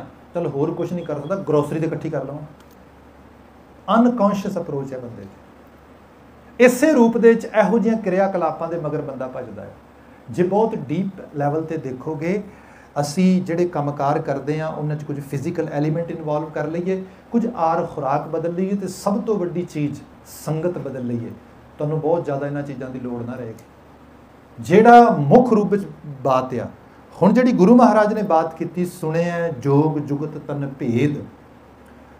ਉਸ ਇੰਡੀਅਨ ਸਬ ਸਬਕੌਂਟੀਨੈਂਟ ਦੇ ਵਿੱਚ ਜੋਗੀਆਂ ਦਾ ਵੱਡਾ ਪ੍ਰਭਾਵ ਰਿਹਾ। ਇਸ ਤੋਂ ਅਗਲੀ ਪੰਕਤੀ ਜਿਹੜੀ ਹੈ ਨਾ, ਸੁਣਿਆ ਸਾਸਤ ਸਿਮਰਤ ਵੇਦ। ਮੈਂ ਦੋਨਾਂ ਨੂੰ ਇਕੱਠਿਆਂ ਨੂੰ ਕੰਬਾਈਨ ਕਰਕੇ ਲਿਆਉਣਾ ਤੁਹਾਡੇ ਸਾਹਮਣੇ। ਬਾਬਾ ਜੀ ਨੇ ਸ਼ਾਸਤਰ ਸਿਮਰਤ ਵੇਦਾਂ ਦੀ ਗੱਲ ਕੀਤੀ ਬਾਣੀ ਦੇ ਅੰਦਰ। ਮਹਾਰਾਜ ਕਹਿੰਦੇ ਕਿ ਜੇ ਸ਼ਾਸਤਰ ਸਿਮਰਤ ਵੇਦਾਂ ਦੀ ਗੱਲ ਕਰੀਏ ਐਂਸ਼ੀਅੰਟ ਟਾਈਮ ਦਾ ਗਿਆਨ ਆ। ਮਤਲਬ ਰਿਗ ਵੇਦ ਆ, ਸਭ ਤੋਂ ਪੁਰਾਣਾ ਵੇਦ ਆ। ਉਹਦਾ ਬਹੁਤ ਸਾਰਾ ਹਿੱਸਾ ਇੱਕ ਪੂਰੀ ਤਰ੍ਹਾਂ ਸਮਝ ਵੀ ਨਹੀਂ ਆਉਂਦਾ। ਜਿੰਨਾ ਸਮਝ ਆਉਂਦਾ, ਉਹਦੇ ਚ ਬਹੁਤ ਸਾਰੇ ਰਿਚੁਅਲਸ ਨੇ, ਬਹੁਤ ਸਾਰੇ ਕਰਮ ਕਾਂਡਾਂ ਦੀ ਗੱਲ ਆ। ਪਰ ਕਿਤੇ ਕਿਤੇ ਬੜੇ ਕੰਮ ਦੀਆਂ ਗੱਲਾਂ ਨੇ। ਐਸੀਆਂ ਗੱਲਾਂ ਨੇ ਜਿਹੜੀ ਮਤਲਬ ਕਹਿ ਲਓ ਕਿ ਐਂਸ਼ੀਅੰਟ ਵਿਜ਼ਡਮ ਤੁਸੀਂ, ਮਤਲਬ ਹੁਣ ਰੀਸੈਂਟਲੀ ਕੁਝ ਚੀਜ਼ਾਂ ਮੈਂ ਸਾਇੰਟਿਫਿਕ ਸਾਈਡ ਤੋਂ ਪੜ੍ਹਦਾ ਤੇ ਫਿਰ ਦੋਨਾਂ ਨੂੰ ਆਪਸ ਵਿੱਚ ਕੋਰਿਲੇਟ ਕਰਕੇ ਦੇਖਦਾ। ਜਿਵੇਂ ਸਾਡੇ ਸਿਰਾਂ ਤੇ ਲਾਈਟਾਂ ਜਗ ਰਹੀਆਂ ਨੇ। ਵੈਦਿਕ ਫਿਲਾਸਫੀ ਦੇ ਵਿੱਚ ਇਸ ਕਿਸਮ ਦੀ ਗੱਲ ਆਈ ਕਿ ਜਿਹੜੀ ਸਾਡੀ ਅੱਖ ਦਾ ਰਿਟਾਈਨਾ ਆ, ਇਹ ਇਸ ਤਰੀਕੇ ਨਾਲ ਬਣਿਆ, ਕੁਦਰਤ ਨੇ ਬਣਾਇਆ ਆ ਕਿ ਜਿਵੇਂ ਇਸ ਨੂੰ ਐਟਲੀਸਟ 12 ਘੰਟੇ ਹਨੇਰਾ ਤੇ 12 ਘੰਟੇ ਰੋਸ਼ਨੀ ਚਾਹੀਦੀ ਹੈ ਜੇ ਇਹਦੇ ਵਿੱਚ ਕੁਝ ਫ਼ਰਕ ਪਏਗਾ ਲੰਬੇ ਸਮੇਂ ਲਈ, ਇਹਦਾ ਇੰਪੈਕਟ ਸਾਡੀ ਓਵਰਆਲ ਹੈਲਥ ਤੇ ਪਏਗਾ ਤੇ ਮੈਂਟਲ ਹੈਲਥ ਤੇ ਜ਼ਰੂਰ ਪਏਗਾ। ਹੁਣ ਜਿਹੜਾ ਇਹਦੇ ਵਿੱਚ ਲਾਈਟ ਆ ਲਾਈਟ ਜਿਹੜੀ ਸੂਰਜ ਦੀ ਨਾਰਮਲ ਰੋਸ਼ਨੀ ਫਿਰ ਨਾਲ ਰੰਗਾਂ ਦਾ ਵੀ ਕੰਬੀਨੇਸ਼ਨ ਹੈ ਹੁਣ ਆਪਾਂ ਦੇਖਦੇ ਆ ਅੱਜ ਅਸੀਂ ਮੈਂਟਲ ਹੈਲਥ ਦੀ ਗੱਲ ਕਰਦੇ ਆ ਬੱਚਿਆਂ ਦੇ ਵਿੱਚ ਅੱਜ ਵੀ ਐਟਲੀਸਟ ਮੈਂ I have attended around 5 calls young ਬੱਚਿਆਂ ਦੀਆਂ। Issues anxiety and depressive thoughts ਉਹਨਾਂ ਦੇ ਵਿੱਚੋਂ ਤਿੰਨ ਨੇ ਲਿਟਰਲੀ ਤੌਰ ਤੇ ਮੇਰੇ ਕੋਲ ਬਿਲਕੁਲ ਓਪਨਲੀ ਇਹ ਗੱਲ ਕਹੀ। ਮੈਂ ਕਿਹਾ any sort of substance involvement in the zero any sort of history of mental health in family zero okay recently ਕੋਈ big episode in your life ਕੋਈ ਅਬਿਊਜ਼ ਕੋਈ ਡੈਥ ਕੋਈ ਨਥਿੰਗ ਭਈ ਸੋਲੋ ਲੈਵਲ ਤੇ ਕੋਈ ਰੂਟ ਨਹੀਂ ਹੈਗੇ ਮਤਲਬ ਇੱਕ ਧਾਰੀ ਰੂਪ ਦੇ ਵਿੱਚ ਤੁਹਾਨੂੰ ਕੋਈ ਰੂਟਸ ਨਹੀਂ ਲੱਭ ਰਹੇ ਵੀ ਇੱਥੋਂ ਗੜਬੜ ਹੋਈ ਹੋਏਗੀ ਇਹਦਾ ਮਤਲਬ ਲਾਈਫ ਸਟਾਈਲ ਹੈ ਜ਼ਿੰਦਗੀ ਦੇ ਜੀਣ ਦਾ ਢੰਗ, ਤਰੀਕਾ ਇਹ ਚ ਕੁਝ ਗੜਬੜਿਆ ਉੱਥੋਂ ਇਹ ਚੀਜ਼ ਆ ਰਹੀ ਹੈ। ਹੁਣ ਇਹਦੇ ਵਿੱਚ ਇਹ ਹੈ, ਅਜੇ ਜਿਵੇਂ ਸਾਡੇ ਸਿਰਾਂ ਤੇ ਰੌਸ਼ਨੀ ਬਲ ਰਹੀ ਹੈ। ਇਹ ਰੌਸ਼ਨੀ ਅੱਜ ਕੱਲ ਯੈਲੋ ਲਾਈਟ ਤੇ ਬਹੁਤ ਫੋਕਸ ਕੀਤਾ ਜਾ ਰਿਹਾ। ਆਪਾਂ ਇੱਕ ਦਿਨ ਥੋੜੀ ਜਿਹੀ ਬਾਤ ਵੀ ਕੀਤੀ ਸੀ ਹੁਣ ਕੀ ਹੋ ਰਿਹਾ ਹੈ? ਕਿਹਾ ਗਿਆ ਕਿ ਨਹੀਂ ਨਹੀਂ, ਸਾਨੂੰ ਸੂਰਜ ਦੀ ਰੌਸ਼ਨੀ ਜ਼ਿਆਦਾ ਜਾਣਾ ਚਾਹੀਦਾ। ਅੱਖਾਂ ਨੂੰ ਸੂਰਜ ਦੀ ਰੌਸ਼ਨੀ 'ਚ ਰਹਿਣਾ ਚਾਹੀਦਾ। ਨਹੀਂ ਰਹਿਣਗੀਆਂ, ਗੜਬੜ ਹੋਏਗੀ। ਫਿਰ ਹਨੇਰੇ ਤੇ ਚਾਨਣ ਦੋਨਾਂ ਦੇ ਵਿੱਚ ਕੰਬਾਈਨ ਕਰਕੇ ਉਸ ਲੈਵਲ ਤੇ ਲੈ ਕੇ ਆਉਣਾ। ਫਿਰ ਕਈ ਵਾਰੀ ਬੱਚੇ ਮੇਰੇ ਨਾਲ ਦਿਲ, ਦਲੀਲ ਦਿੰਦੇ ਨੇ but in North America we don't have 12 hours of dark, specifically in summer. But in reality, ਜੇ ਅਸੀਂ ਇਕੁਏਟਰ ਲਾਈਨ ਤੋਂ ਦੇਖੀਏ, ਕਿੰਨੇ ਉੱਤੇ ਆ ਗਏ ਆ ਨਾਰਮਲ ਵੇਵ ਦੇ ਵਿੱਚ ਤੇ ਇੱਥੇ ਮਨੁੱਖਾਂ ਦੀ ਆਬਾਦੀ ਨਹੀਂ ਸੀ ਹੁੰਦੀ ਜੇ 1000 ਕ 2000 ਸਾਲ ਪਿੱਛੇ ਚਲੇ ਜਾਓ ਕਿਉਂਕਿ ਰਿਸੋਰਸਸ ਅਸੀਂ ਖਤਮ ਕਰਦੇ ਗਏ, ਤੇ ਅਲਟੀਮੇਟਲੀ ਰਿਸੋਰਸਸ ਘੱਟ ਹੋ ਗਏ ਤੇ ਇਧਰ ਨੂੰ ਆ ਗਏ। ਹੁਣ ਉਹ, ਉਹਨਾਂ ਚੀਜ਼ਾਂ ਦਾ ਅਸਰ ਅਸਰਾਰ ਹੋ ਗਿਆ। ਪਰ ਅਦਰਵਾਈਜ਼ ਜਿਹੜੀ ਐਂਸ਼ੀਅੰਟ ਵਿਜ਼ਡਮ ਆ, ਜਿਹੜੀ ਹਜ਼ਾਰਾਂ ਸਾਲਾਂ ਦੀ ਸਟੱਡੀਜ਼ ਦੇ ਵਿੱਚੋਂ ਆਈ ਹੈ, ਉਹ ਕੁਝ ਸਮਝਾ ਰਹੀ ਹੈ ਸਾਨੂੰ।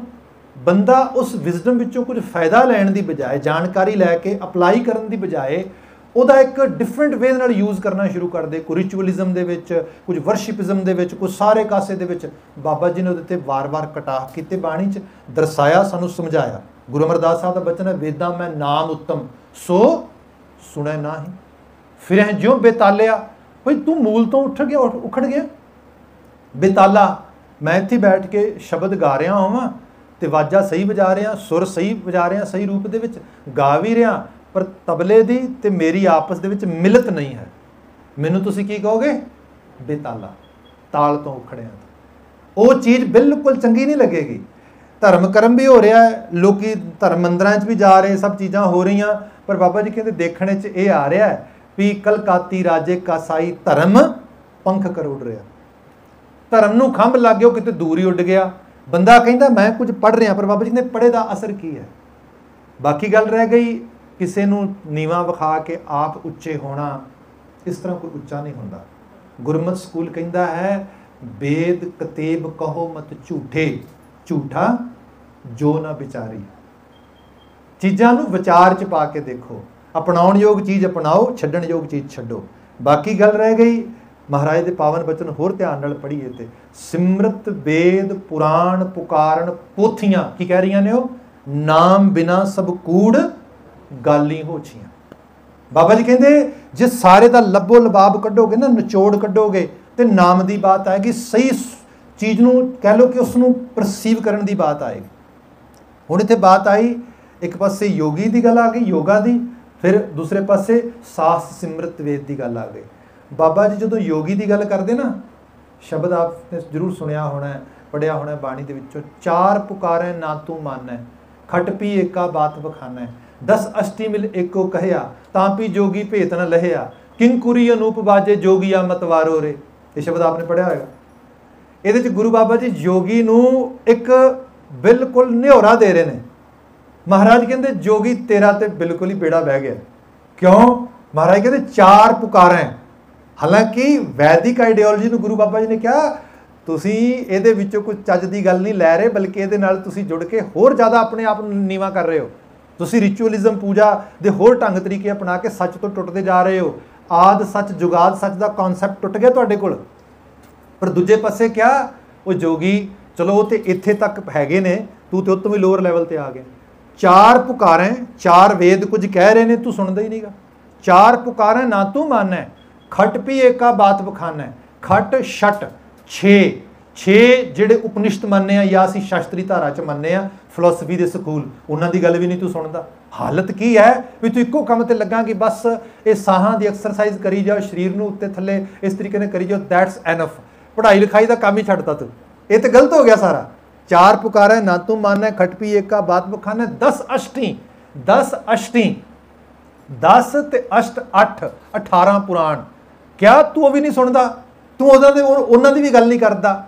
ਚਾਰ ਪੁਕਾਰੇ, ਨਾ ਤੂੰ ਮਾਨੈ ਖਟਪੀ ਏਕਾ ਬਾਤ ਬਖਾਨੇ 10 ਅਸ਼ਟੀ ਮਿਲ ਏਕੋ ਕਹਿਆ, ਤਾਂ ਪੀ ਜੋਗੀ ਭੇਦ ਨਾ ਲਹਿਆ। ਉਹ ਤੈਨੂੰ ਤੇ ਉਹਦਾ ਭੇਦ ਹੀ ਨਹੀਂ ਆਇਆ। ਤੇ ਤੂੰ ਲੋਕਾਂ ਨੂੰ ਕਹਿੰਦਾ, ਮੈਂ ਤੇ ਗੁੱਜੇ ਭੇਦ ਜਾਣਦਾ, ਮੈਂ ਤੇ ਅੰਦਰ ਦੇ ਭੇਦ ਜਾਣਦਾ। ਇਸ ਢੰਗ ਦੀਆਂ ਗੱਲਾਂ ਹੁੰਦੀਆਂ। ਇਸ ਨੂੰ ਹੋਰ ਸਿੰਪਲ ਕਰ ਲਈਏ। ਦੇਖੋ, ਜੀਵਨ ਆ, ਇਹਦੇ ਚ ਭੱਜ ਨੱਠ ਬਹੁਤ ਆ, ਦੌੜ ਦੌੜ ਭੱਜ ਬਹੁਤ ਜ਼ਿਆਦਾ। ਹੈ ਸਾਡੇ ਇੱਥੇ ਹੁਣ ਬਹੁਤ ਸਾਰੇ ਕੇਂਦਰ ਬਣੇ ਨੇ, ਬੁੱਧਿਸਟ ਕੇਂਦਰ ਨੇ ਮੋਸਟਲੀ ਤੇ। ਜਿਹੜੇ ਐਕਸਰਸਾਈਜ਼ ਕਰਾਉਂਦੇ ਨੇ ਯੋਗੀ ਕਿਰਿਆਵਾਂ ਦੀ ਜਾਂ ਇੱਕ ਵਰਡ ਹੈ, ਸ਼ਬਦ ਸੁਣਿਆ, ਵਿਪਾਸਨਾ। ਉਹਦਾ ਕੈਂਪ ਲਾਉਂਦੇ ਨੇ। ਮੋਸਟਲੀ 10 ਦਿਨ ਦਾ ਹੁੰਦਾ ਜਾਂ ਉਸ ਤੋਂ ਵੱਧ ਹੁੰਦਾ। ਤੇ ਉੱਥੇ ਹੋਰ ਕੁਝ ਨਹੀਂ ਹੁੰਦਾ ਜਸਟ ਜਿਹੜਾ ਆ ਸਾਇਲੈਂਸ ਪ੍ਰੈਕਟਿਸਿੰਗ ਬਿਲਕੁਲ ਆਰਾਮ ਨਾਲ ਕੁਆਇਟ ਬੈਠਣਾ ਬਸ ਸਟਿਲ ਐਂਡ ਕੁਆਇਟ ਇਹਦੀ ਪ੍ਰੈਕਟਿਸ ਕਰਾਉਣੀ। ਵੱਡੇ ਪੱਧਰ ਤੇ ਲੋਕ ਜਾਂਦੇ ਨੇ। ਜਦੋਂ ਜਾ ਕੇ ਆਉਂਦੇ ਨੇ ਤੇ ਪੁੱਛੀਦਾ ਆ ਤੇ ਕਹਿੰਦੇ ਨੇ ਬਹੁਤ ਰਿਲੈਕਸ ਫੀਲ ਕਰਦਾ ਹੈ। ਬਿਲਕੁਲ ਠੀਕ ਹੈ। ਇਤਨੀ ਦੌੜ ਭੱਜ, ਇਤਨਾ ਭੱਜ, ਨੱਠ ਸਭ ਕੁਝ ਥੋੜੀ ਦੇਰ ਲਈ ਆਰਾਮ ਕਰਨ ਲਈ ਕੋਈ ਬੈਠ ਜਾਏਗਾ, ਚੈਨ ਮਿਲੇਗਾ। ਪਰ ਉਹ ਚੈਨ, ਉਹ ਆਰਾਮ ਦੋ ਪਲਾਂ ਲਈ ਹੈ ਬਸ, ਜ਼ਿੰਦਗੀ ਦੀ ਰੇਸ ਥੋੜਾ ਮੁੱਕ ਜਾਏਗੀ। ਹਾਲਾਤ ਥੋੜਾ ਇੱਕਦਮ ਬਦਲ ਜਾਣਗੇ। ਅੱਖਾਂ ਬੰਦ ਕਰਕੇ ਬਹਿਣ ਨਾਲ, ਸਮਾਧੀ ਲਾਣ ਨਾਲ ਚੀਜ਼ਾਂ ਥੋੜਾ ਬਦਲ ਜਾਣਗੀਆਂ। ਉਹਨਾਂ ਲਈ ਤੇ ਐਫਰਟ ਪਾਉਣੀ ਪਏਗੀ। ਇਹ ਇਥੋਂ ਅਪਰੋਚ ਆਈ। ਬੰਦੇ ਨੇ ਕਿਹਾ, ਹਾਂ, ਇਹ ਰਿਲੈਕਸਿੰਗ ਹੈ, ਇਸ ਰੂਪ ਦੇ ਵਿੱਚ ਹੈ। ਇੰਨੀ ਕਿ ਚੀਜ਼ ਦੇ ਮਗਰ ਹੀ ਭਜਣਾ। ਗੁਰੂ ਬਾਬਾ ਜੀ ਨੇ ਕਿਹਾ, ਜੇ ਤੂੰ ਸਹੀ ਨੂੰ ਸੁਣੇਗਾ, ਸੱਚ ਨੂੰ ਸੁਣੇਗਾ ਰਿਐਲਿਟੀ ਨੂੰ ਪਰਸੀਵ ਕਰੇਗਾ, ਸੁਣਿਆ ਜੋਗ, ਜੁਗਤ ਤਨ ਭੇਦ, ਤੈਨੂੰ ਜੋਗ ਦੀ ਸਮਝ ਆਏਗੀ। ਜੋਗ ਦਾ ਮਤਲਬ ਐਕਚੁਅਲੀ ਅਟੈਚਮੈਂਟ ਵੀ ਹੁੰਦਾ, ਜੁੜਨਾ ਵੀ ਹੁੰਦਾ ਆ। ਆਪਾਂ ਘਰਾਂ 'ਚ ਗੱਲ ਕਰਦੇ ਨਾ ਰਿਲੇਸ਼ਨਸ਼ਿਪ ਦੀ। ਬੱਚੇ ਦੀ ਰਿਲੇਸ਼ਨਸ਼ਿਪ ਤੁਹਾਡੇ ਨਾਲ ਬਣੇਗੀ, ਬਣਨੀ ਚਾਹੀਦੀ ਹੈ। ਪਰ ਅਨਫੋਰਚੂਨੇਟ ਗੱਲ ਇਹ ਹੈ ਵੀ ਜਿੰਨੇ ਨੂੰ ਰਿਲੇਸ਼ਨਸ਼ਿਪ ਉਹਦੀ ਸ਼ੁਰੂ ਹੋਣੀ ਹੈ ਬਣਨੀ, ਉਸ ਤੋਂ ਪਹਿਲਾਂ ਕੋਈ ਤੀਸਰੀ ਚੀਜ਼ ਇੰਟਰਵੀਨ ਕਰਦੀ ਹੈ। ਤੇ ਉਹ ਇੰਟਰਵੀਨ ਕਰਨ ਵਾਲੀ ਚੀਜ਼ ਸਕਰੀਨ ਹੈ। ਮੀਡੀਆ ਬੱਚੇ ਦੀ ਰਿਲੇਸ਼ਨਸ਼ਿਪ ਮੇਰੇ ਨਾਲੋਂ ਵਧੀਆ ਆਪਣੇ ਫੋਨ ਨਾਲ ਹੈ। ਉਹਦੀ ਸਕਰੀਨ ਨਾਲ ਹੈ ਸੋਸ਼ਲ ਮੀਡੀਆ ਨਾਲ ਹੈ। ਮੈਂ ਉਹਦੇ ਲਈ ਇਤਨਾ ਯੂਜ਼ਫੁਲ ਨਹੀਂ ਹੈਗਾ। ਅਸੀਂ ਕਈ ਵਾਰੀ ਉਹ ਬਲਾਸ ਵਿੱਚ ਜੋਕ ਸੁਣਾਉਂਦੇ ਆ ਪੜਿਆ ਤੇ ਕਿਤੋਂ ਸੋਸ਼ਲ ਮੀਡੀਆ ਤੇ ਸੀਗਾ। ਉਹ ਇਹ ਹੋਇਆ ਕਿ ਬੰਦਾ ਰਾਤ ਨੂੰ ਉਹਦਾ ਇੰਟਰਨੈਟ ਇੰਟਰਨੈਟ ਨਹੀਂ ਚੱਲ ਰਿਹਾ। ਇੰਟਰਨੈਟ ਡਿਵਾਈਸ ਬੰਦ ਹੋ ਗਿਆ ਸਾਰੇ। ਬੜੀ ਐਫਰਟ ਪਾਈ ਨਹੀਂ ਚੱਲਿਆ ਕੁਝ ਵੀ। ਤੇ ਅਗਲਾ ਦਿਨ ਹੋਇਆ ਤੇ ਫਰੈਂਡ ਨੇ ਕਿਹਾ ਰਾਤੀ ਤੈਨੂੰ ਆਨਲਾਈਨ ਲੱਭ ਰਿਹਾ, ਤੂੰ ਐ ਨਹੀਂ ਸੀਗਾ। ਉਹ ਕਹਿੰਦਾ, ਯਾਰ ਕੀ ਕਰੀ ਇੰਟਰਨੈਟ ਨਹੀਂ ਚੱਲਦਾ ਰਾਤੀ। ਅੱਛਾ। ਉਹ ਮਾਈ ਗੋਸ਼ ਕਹਿੰਦਾ, ਬੜੇ ਔਖਾ ਹੁੰਦਾ ਰਾਤ ਬੜੀ ਔਖੀ ਨਿਕਲੀ। ਕਹਿੰਦਾ, ਹਾਂ, ਔਖੀ ਨਿਕਲਣੀ।